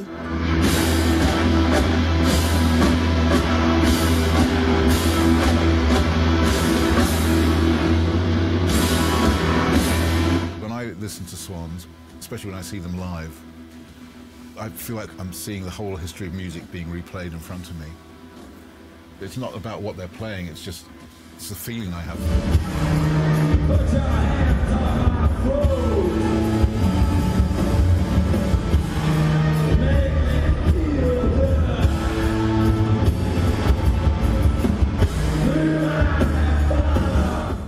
Alexandra Palace. Gira kind of looked like he was in a trance or something, was kind of started crying like a, like a baby. And at first, people were kind of sniggering.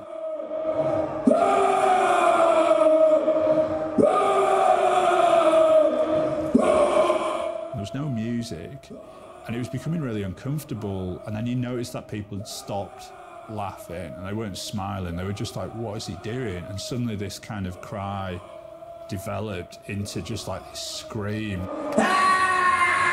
like this human scream of agony.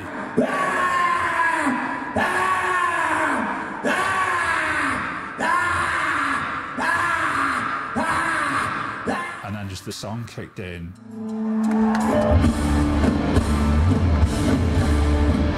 Was so bizarre and so moving, you know. I've never seen a band do anything like that before.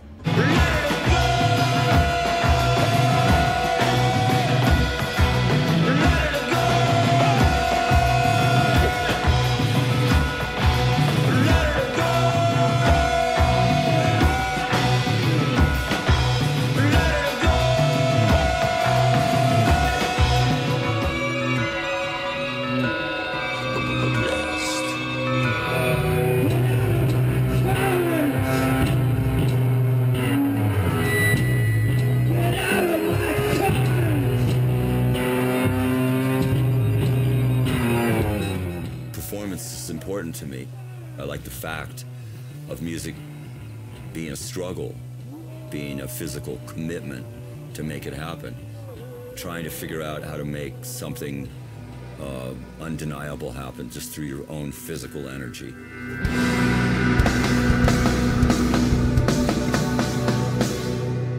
To me, it just being in there and just expelling sweat and just feeling your body torn down as the music's happening is kind of like a penitential, and um, that feels right.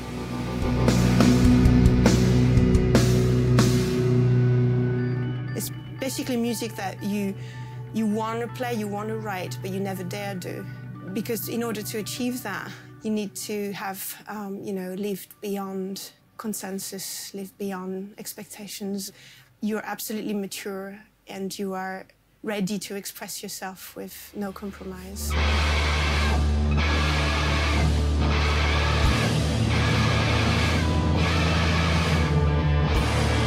I had no idea swans would have this kind of legs.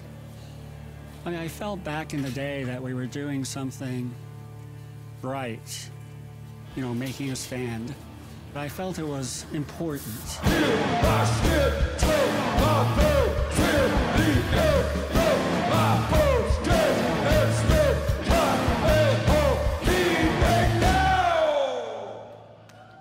Michael's not a normal person. I mean, to have that kind of drive, you're not a normal person. I still love the oxygen.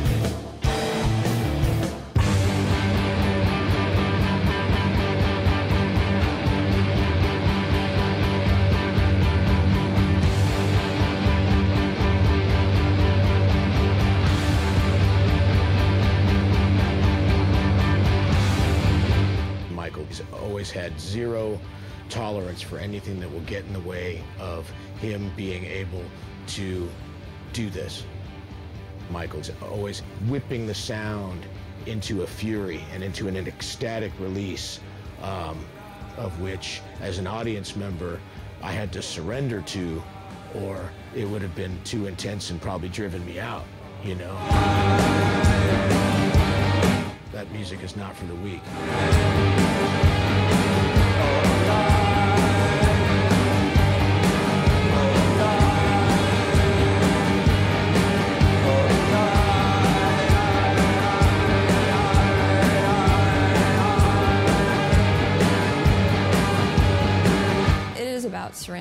To the sound because it's just, it's like, why fight it? You can't fight it, you know, just like, just surrender instead.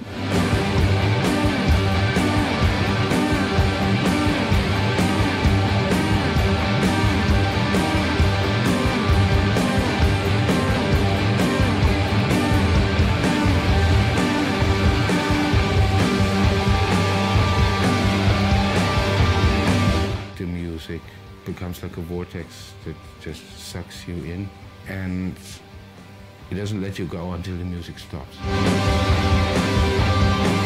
You become an animal that consists of all of us. You could call it a beast.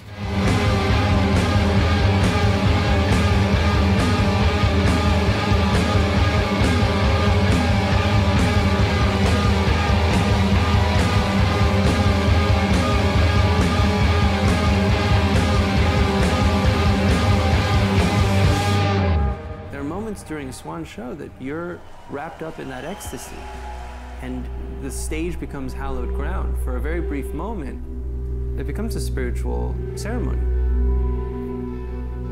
It's Michael shocking us into presence. And I've seen him go into these trance like states where he's punching himself and slapping himself and hitting himself. And he's doing that to shake himself out of himself. He's doing that to get out of the way.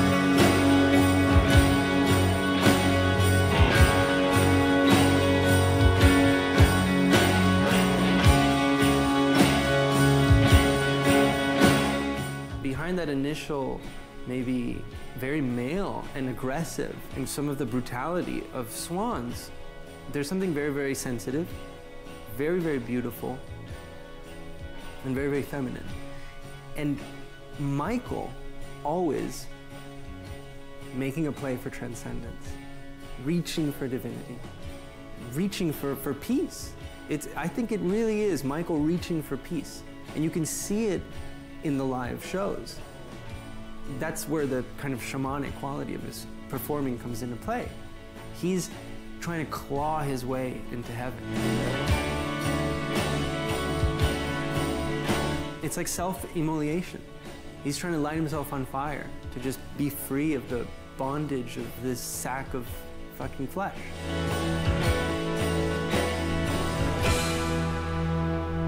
It's a beautiful thing to see.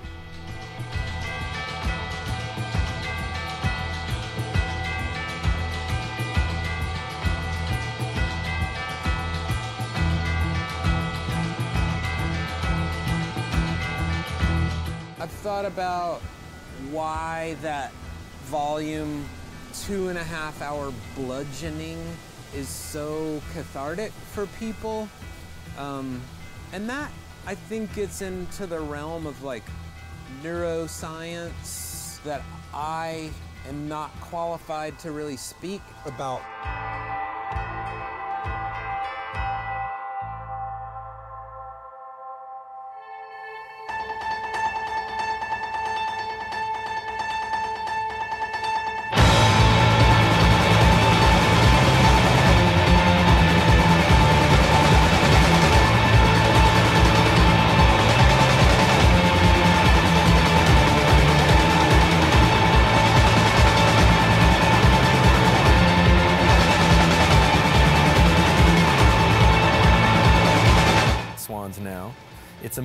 Symphony orchestra that happens to use amplified instruments and goes to 132 dB.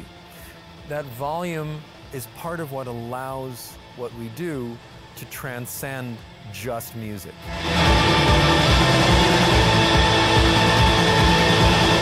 Michael wants to build the mountain as big as he can make it. It's not a wall of sound, it's a mountain of sound. It's a mountain range. It's like Mount Everest of sound.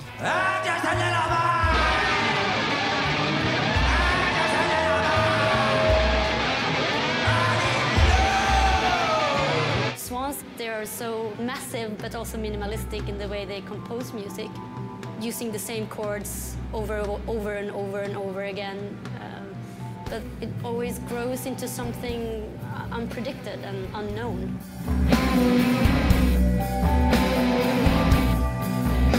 And the sound keeps changing all the time, so you have to be very present and you have to get into this meditative state of mind and just be absorbed.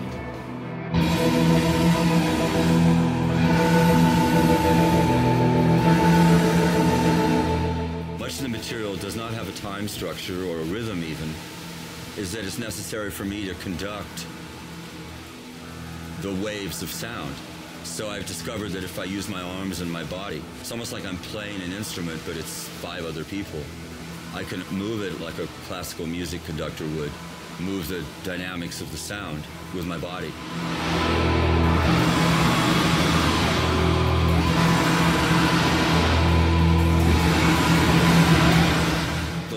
I do naturally because the music kind of forces me to do those things, and so I do them. But to me, yeah, it's all about just atomizing and having the music just completely erase you for a brief moment of ecstasy.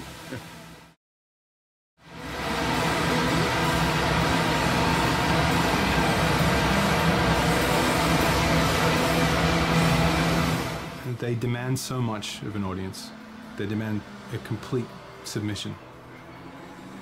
Michael, as a performer, really forces everybody in the room into a eviscerated space where time and space itself becomes so irrelevant to the experience. Michael has suffered trauma when he was younger physical, spiritual, psychological. And I think if you look at the arc that his songwriting and music making career has taken, it goes through various stages, almost like the stages of grief, but I would say these are like the stages of existentialism. It's um, you, you start off with trauma can induce this idea that life is random, it is violent, it has no purpose, and often horrific things happen to people who are innocent or have done nothing wrong. And it can take a lifetime to reconcile yourself to this fact. And I think you can trace almost like a history, a time scale of how you deal with existential trauma over the case of a lifetime. And now, what I think you've got in the autumn of their career is something that's closer almost to kind of like Zen Buddhism. You've got like an acceptance of like, yeah, life is random, it is violent, and terrible things can happen to people who don't deserve it. But also, an acceptance of this fact and an ability to celebrate it. At the core of it now is a celebration of life, I think, and the possibility of love, where you'd be hard pressed to find that in Swan's early music, though, I think, you know.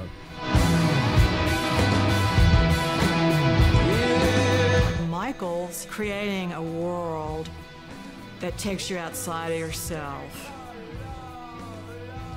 You're transcending yourself and your body, and the music takes on a dimension. And I don't think it's any accident that it has that dimension. With the volume, with adding that dimension feel hitting you so loud, you actually feel that resonating through your body. The music is so physical, so so circular. You, you fall into it, you know. It's not there. It's all around you, and you're kind of falling into it. Definitely, that's that's the very heart of it.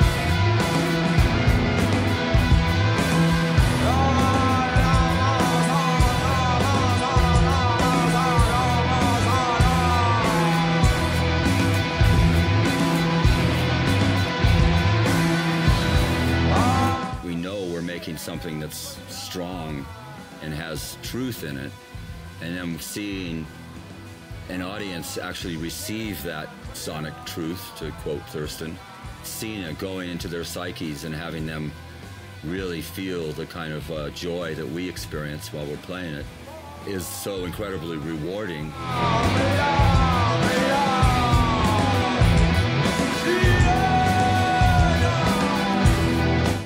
Just kind of elevates and becomes something much bigger than us and everyone.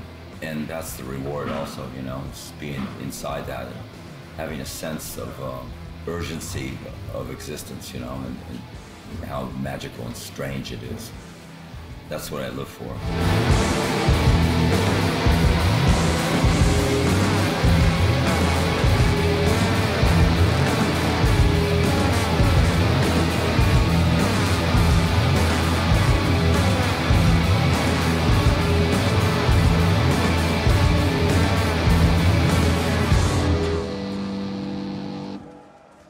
Interested in the pursuit of the divine. The songs themselves become mantras or prayers. For some reason, the sound has led me to, to be a, a more contemplative, even spiritual kind of person. Something about the sound and the, the kind of uh, transcendent quality that it can achieve. To be kind,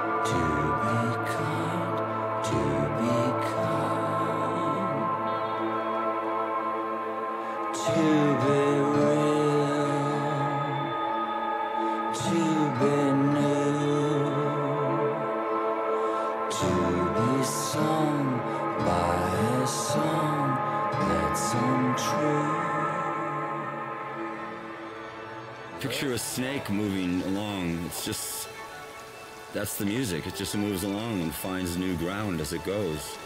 And that's how it's developed.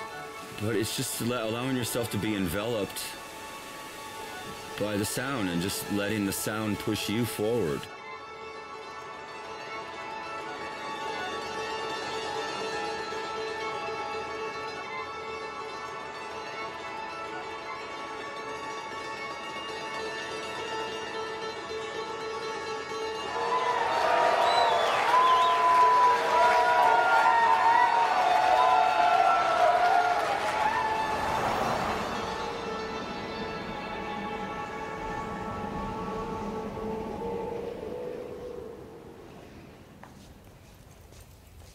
I'm scared. Make me not scared, Charles. My children need this to be a good record. This one right here. It's on you. My children's welfare is on you.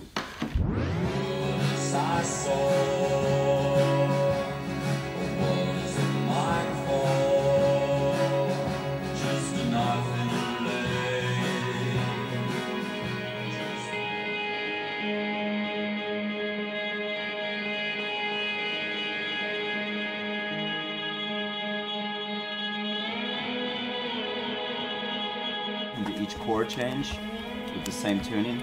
So at the beginning. Mm-hmm. So. Yeah.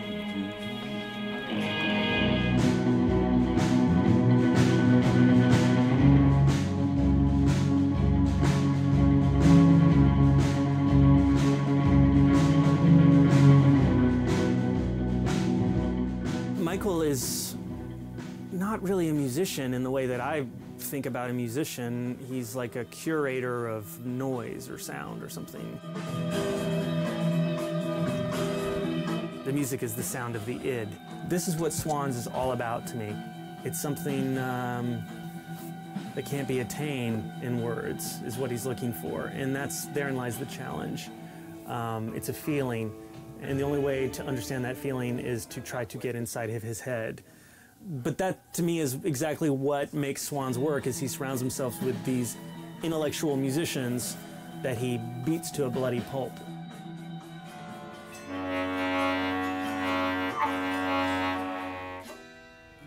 So it's just D A D, right? Uh, Low D, then an A,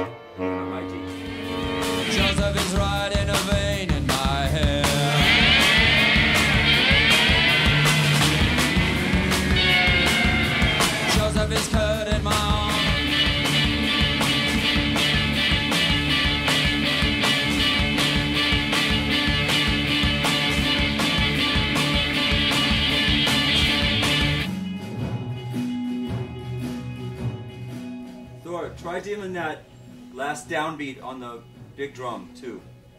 So be dun dun dun. Michael is not a fearless human, but he is a fearless artist. Michael is more of like a big picture visionary with just a strange world view that comes across in everything that is Swans.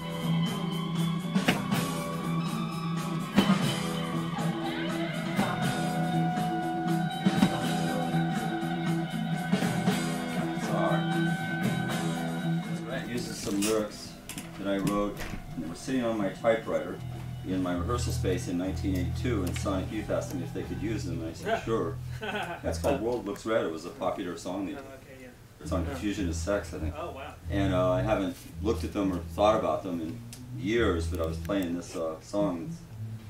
We're going to use them on. And I thought, Jesus, I'll just use those words.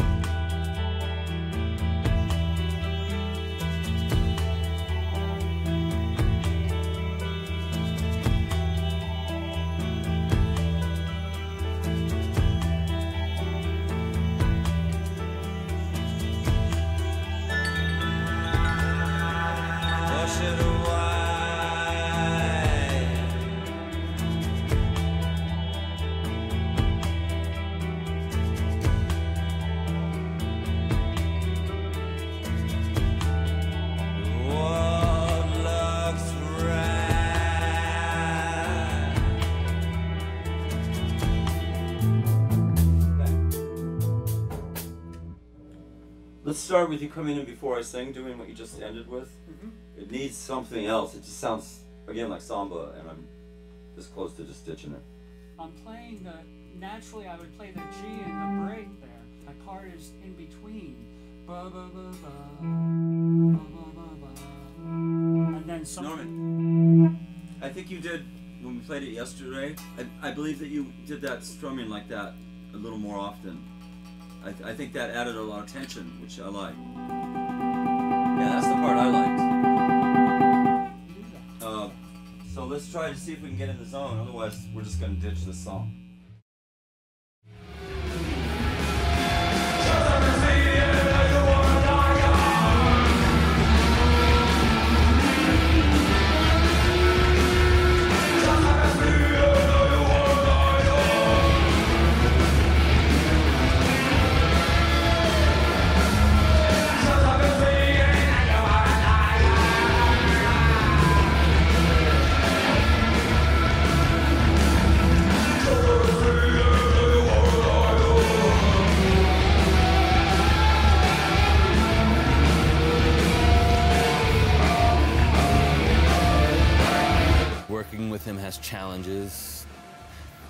It's hard to understand him sometimes, you know.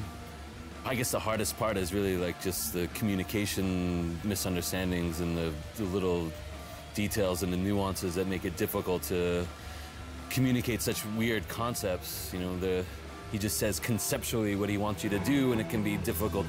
And he can get frustrated, and everybody can get frustrated in the process.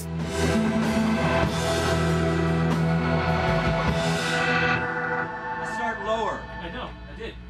That's your lowest E? That's my. What do you mean by low? Lower. I start lower. On this final E. That's my higher E. You start lower on the final E. Uh, you said You the do, opposite. you do. But you said the opposite yesterday. No, because it needs to go somewhere. Start lower. Ready? I, wait. Ready? Hold on, One. I need to understand. I need to understand. That's what you did. I'm just confused. Just explain. Go down the neck. What Play you- your lowest E. Okay, that's where your chord was. Somewhere like that, and you had a chord down there. And then, then you do that for a bit, and then you go up higher because we're staying on this chord That's now. That's right. I went to the high chord. Then. Okay. Wait, wait, wait. No, fine, it's fine. Whatever you want. Fine. I'm not arguing with you. Do what you want. Okay, let's do it without him. Ready? No. No. We gotta get this straight now. What? What am I supposed to say? That's the case. Um, I think uh, I could have explained it to him. Michael? Excuse me. And then What I want is what we did yesterday. There's confusion. I'm not understanding what you mean. I just said what I mean. Yeah, but I don't understand it. I just need you to You take go an octave lower. down. I get caught up in the heat of the moment, and it's like almost like yelling, you know, arguing with family members. Michael doesn't compromise with us as the band, too.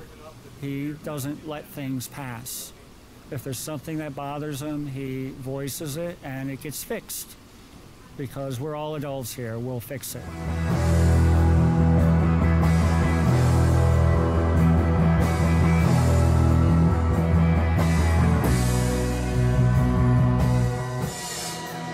Best yet. I don't want you to ever lose that feel. That's totally fucking righteous. It sounds sonically great too. Michael sometimes has a reputation as being difficult. Oh, he's very difficult.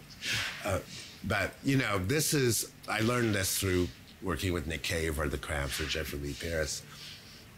All of these people I've worked with, and Michael is one person I've worked with, they share this very admirable trait of defending their vision above all, you know. There's just no room for compromise. It's a life's work. And just stay on the E. Okay. And add a little like eh, eh in the E. It's a little, okay? Nice, better feel. You, you, you could pare it down even a little more, just drama when you're playing more dramatically too.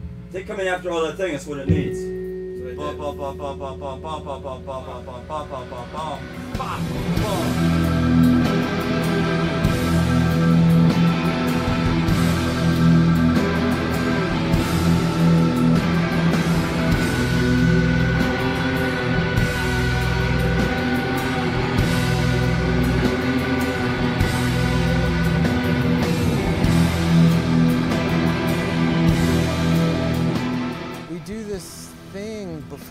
Our shows where all six of us hug each member before we go on and it's a huge important part of the show because sometimes when you're touring the day is just miserable and boring and maybe you're getting on each other's nerves a bit but then there's that hug right before the show and it's like remember we're here to do this thing for these people and it's good, important work, you know.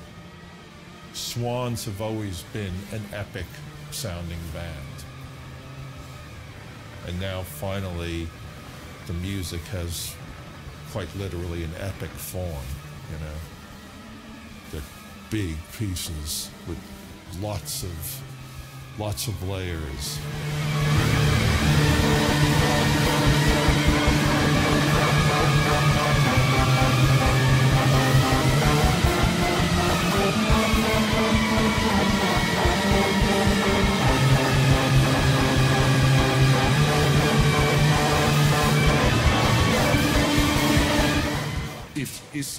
Damagingly loud?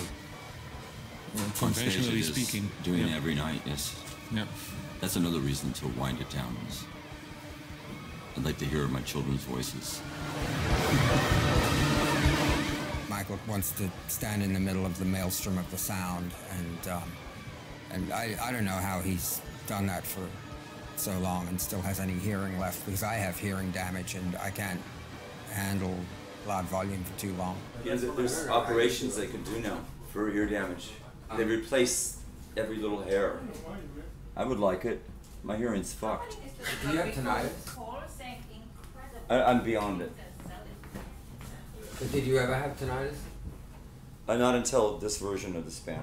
Yeah, because you know you can have hearing loss without tinnitus. Sure. You can have. Oh, I have tremendous hearing loss. Yeah, I'm unfortunate. Every once in a while, I get the musical note thing, but uh, generally, Yeah. it's like the waves of the sea. It's just shh. Yeah, yeah.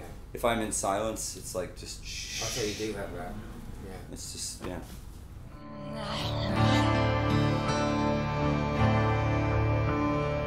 We had a great bonding moment the last time that they came to Atlanta about everything that was going on in his life.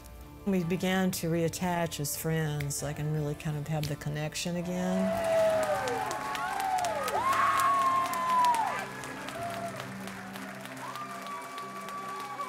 For Michael to ask me to come and to sing Blood on Your Hands, it was a very healing moment for me. So it was a very, very uh, important gesture.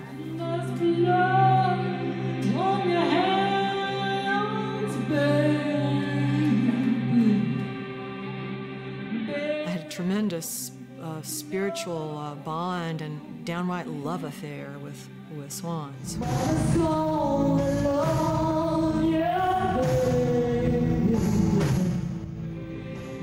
It was something that you've given so much your heart to and you've worked so hard in for so many years. Like you kind of feel invested in an intimate way, you know, like your spirit is connected to it. And of course, I consider all those guys brothers, really. I understood every millisecond of what was happening up there as an architecture. I understood it, and it felt weird to not be part of it. It felt weird.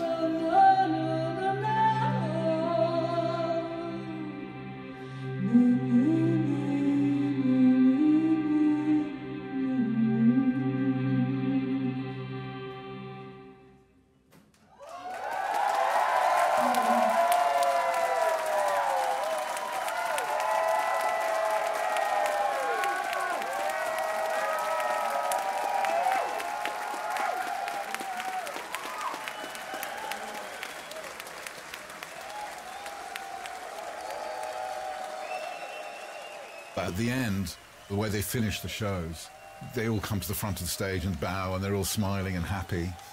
You really feel they've gone through a battle and they've come out of it and they've done brilliantly, and they stand there and they're smiling on stage. They feel like they've done a day's work, and I love that. A lot of groups would just do feedback and walk off stage.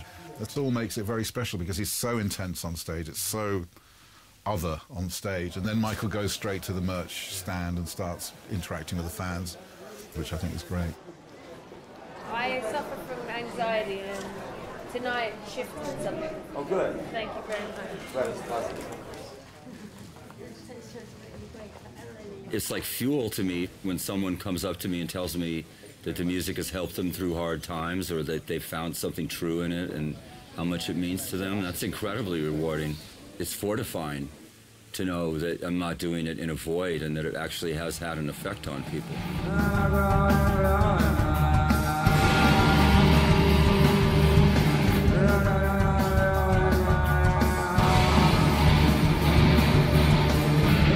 It's so sick the way people get sucked up into the whole celebrity thing.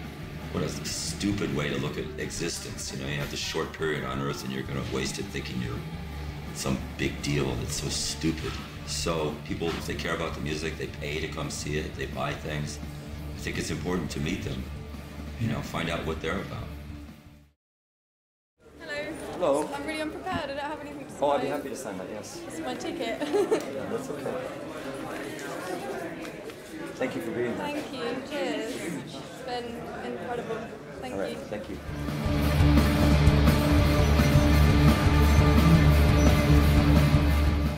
Be Kind blew my mind. and it's changed the way I listen to music, and um, the way it's so brutal and vicious and hard to listen to, but the emotions are so raw and everything. It feels bigger than you are in a sense. Something about it is kind of moving, but in like a weird transcendental kind of way.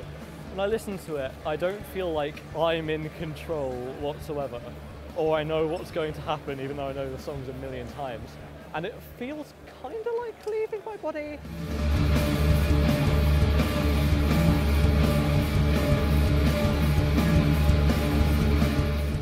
Hey, how's it going? I'm great. That was an incredible show. Oh, good. I've never experienced anything like it. Oh, good. That's what I like. Hello. Thank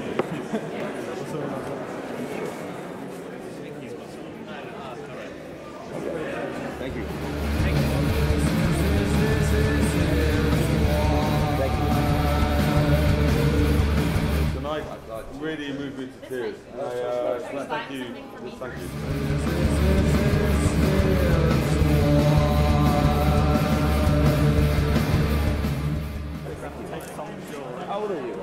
I'm 18. Wow. You. Have a good life. Yeah. It's all there. Thank you very right, much. take care. Oh, nice to meet you. I'm a big fan. Thank you for it. It was it was an amazing show. Thank you so. Thank you. Where did you get this? It's just the sound. It's just amazing. Just mind blowing stuff. Absolutely brilliant. And yeah, yeah, first show. It just completely blew me away like nothing else I ever heard before. Hey, you got a bootleg shirt on, man. Take it off. It's fantastic that some of these kids are the children of people that went to the shows.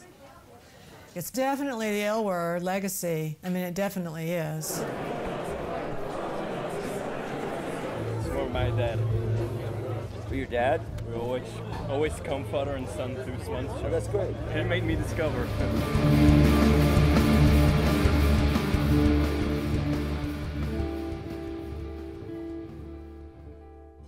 My kiss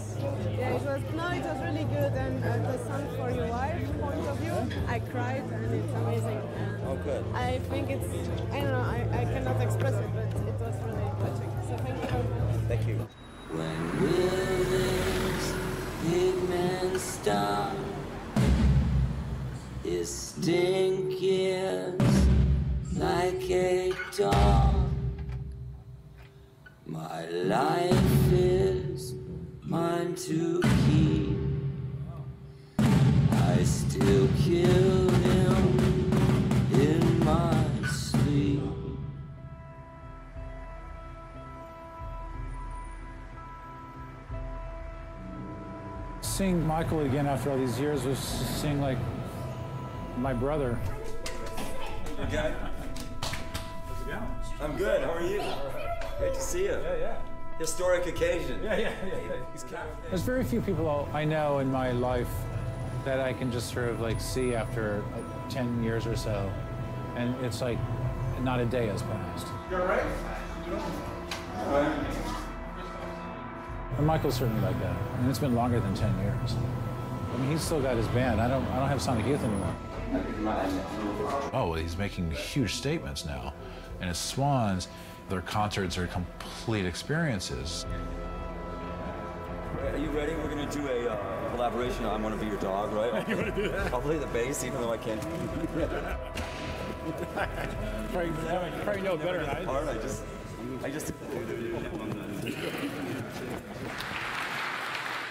This is uh, really incredible for me to be playing with Swans right now because I don't think I've played with them since 1983 when I was just three years old.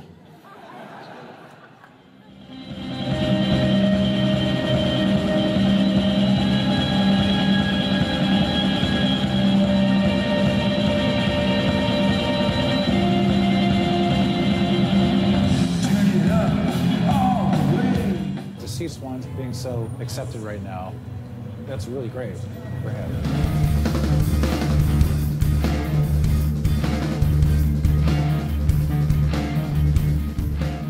place is completely sold out. And everybody is standing there and they're listening and they're all loving it.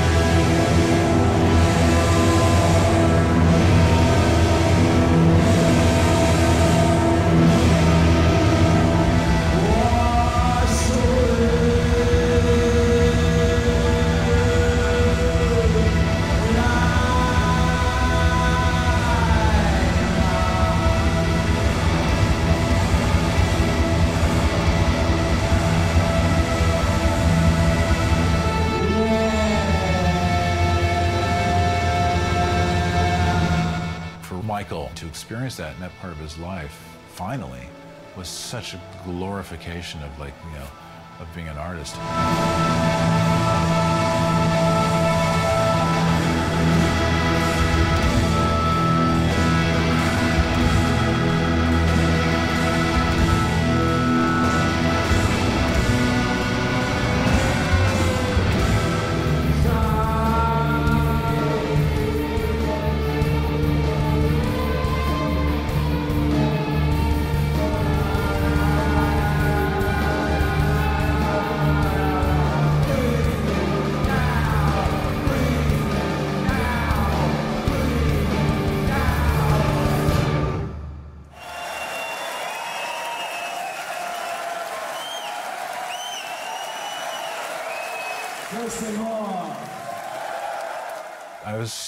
Happy and I was so proud that he was like able to be there and doing that.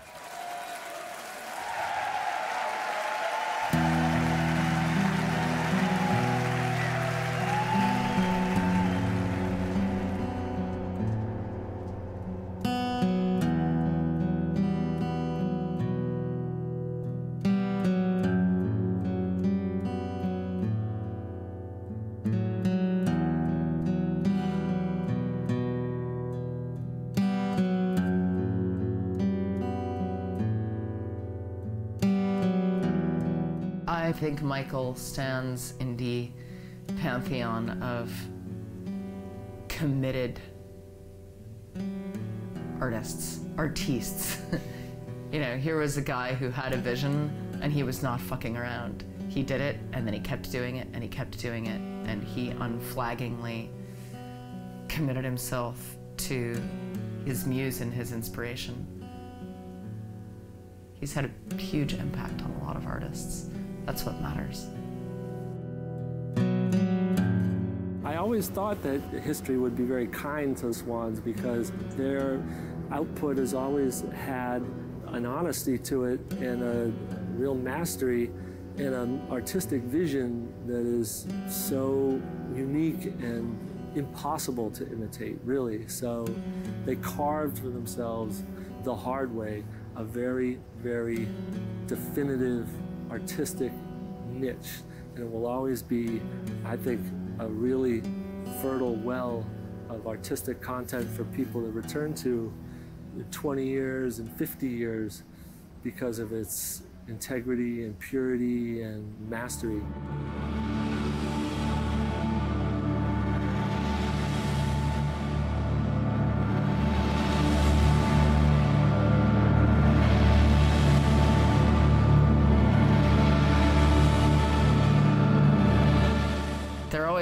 Be a next, an evolution.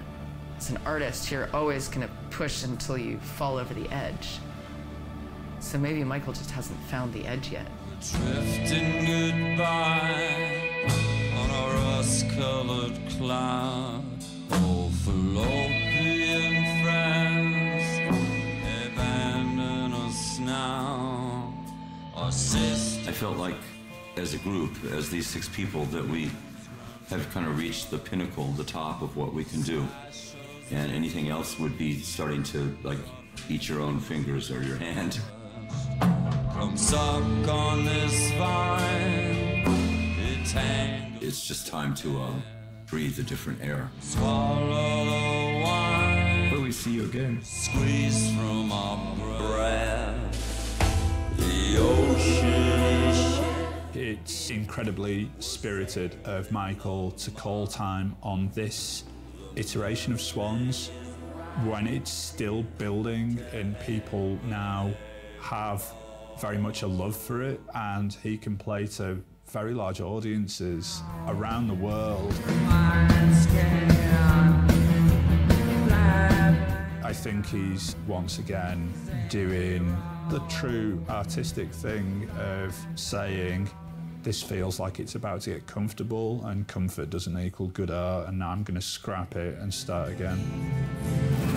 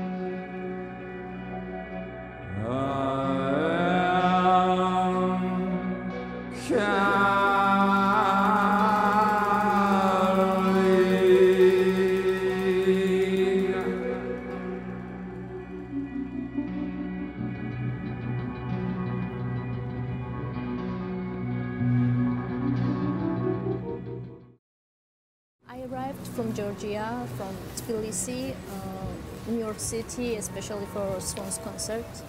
I came from Tempe, Arizona. I came from Providence, Rhode Island. So tonight I came from Montreal. My son Joshua and I came from Vermont to see Swans.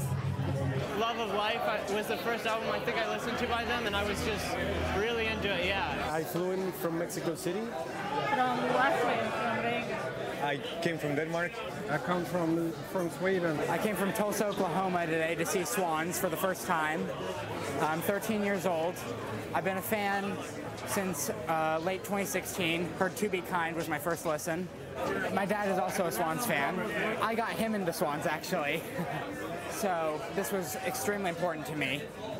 Swans is a really special band for me, and it's really emotional because it's a Swans uh, last shows. Friends of mine came here from Paris, and yeah, I think it's a big deal for people.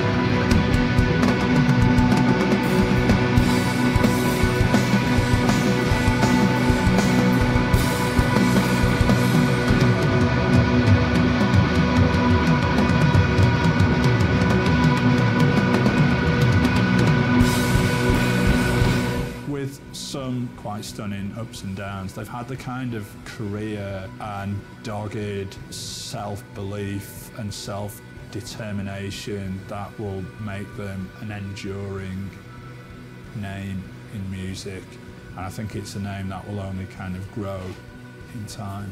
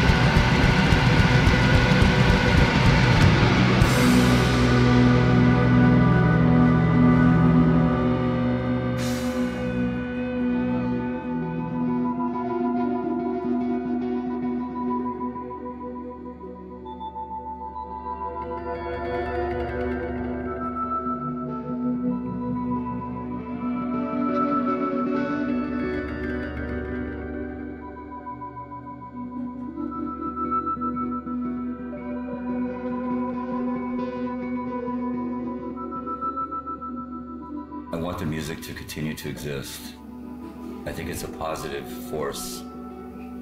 It's definitely an act of love, I've realized. So that's a good force to have in the world. And meeting people who experience it and get something true from it is a huge reward for me. Uh, I feel like I've done, I've done and am doing something worthwhile with my life, you know.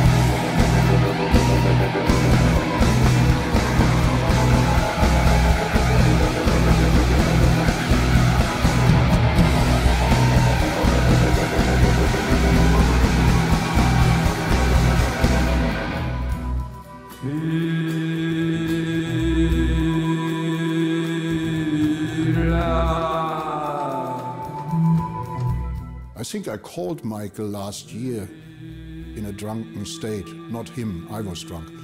I told him that I still consider him a, a fellow traveler on the same strange path.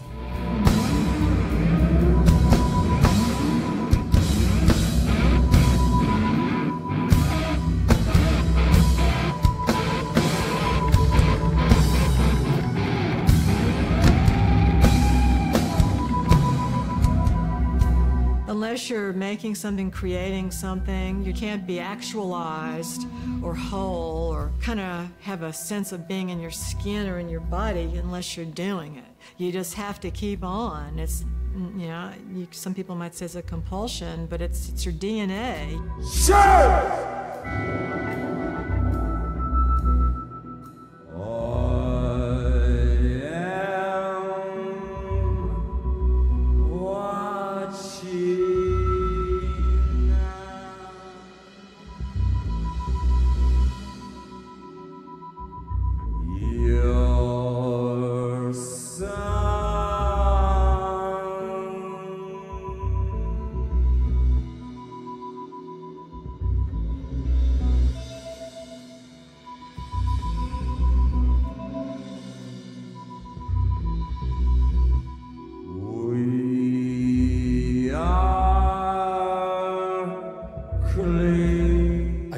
why would stop now. You carry on to the bitter end till you drop. You know, you drop, and that's it. You've had it.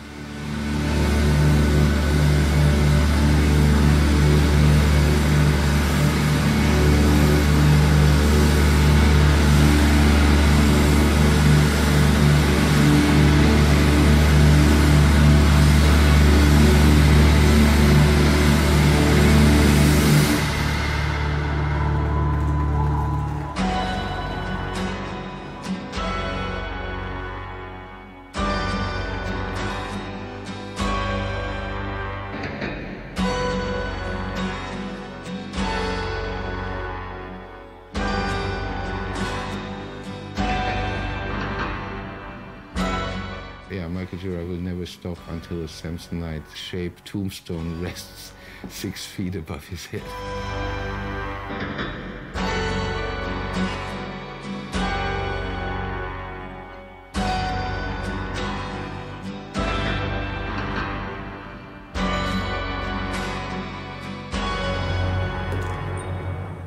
I have to work.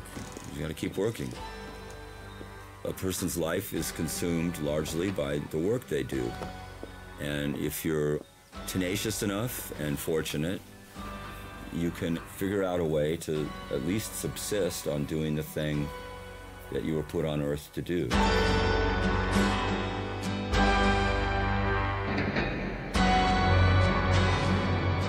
I mean, giving up is not an option anyway. What else am I going to do? You have a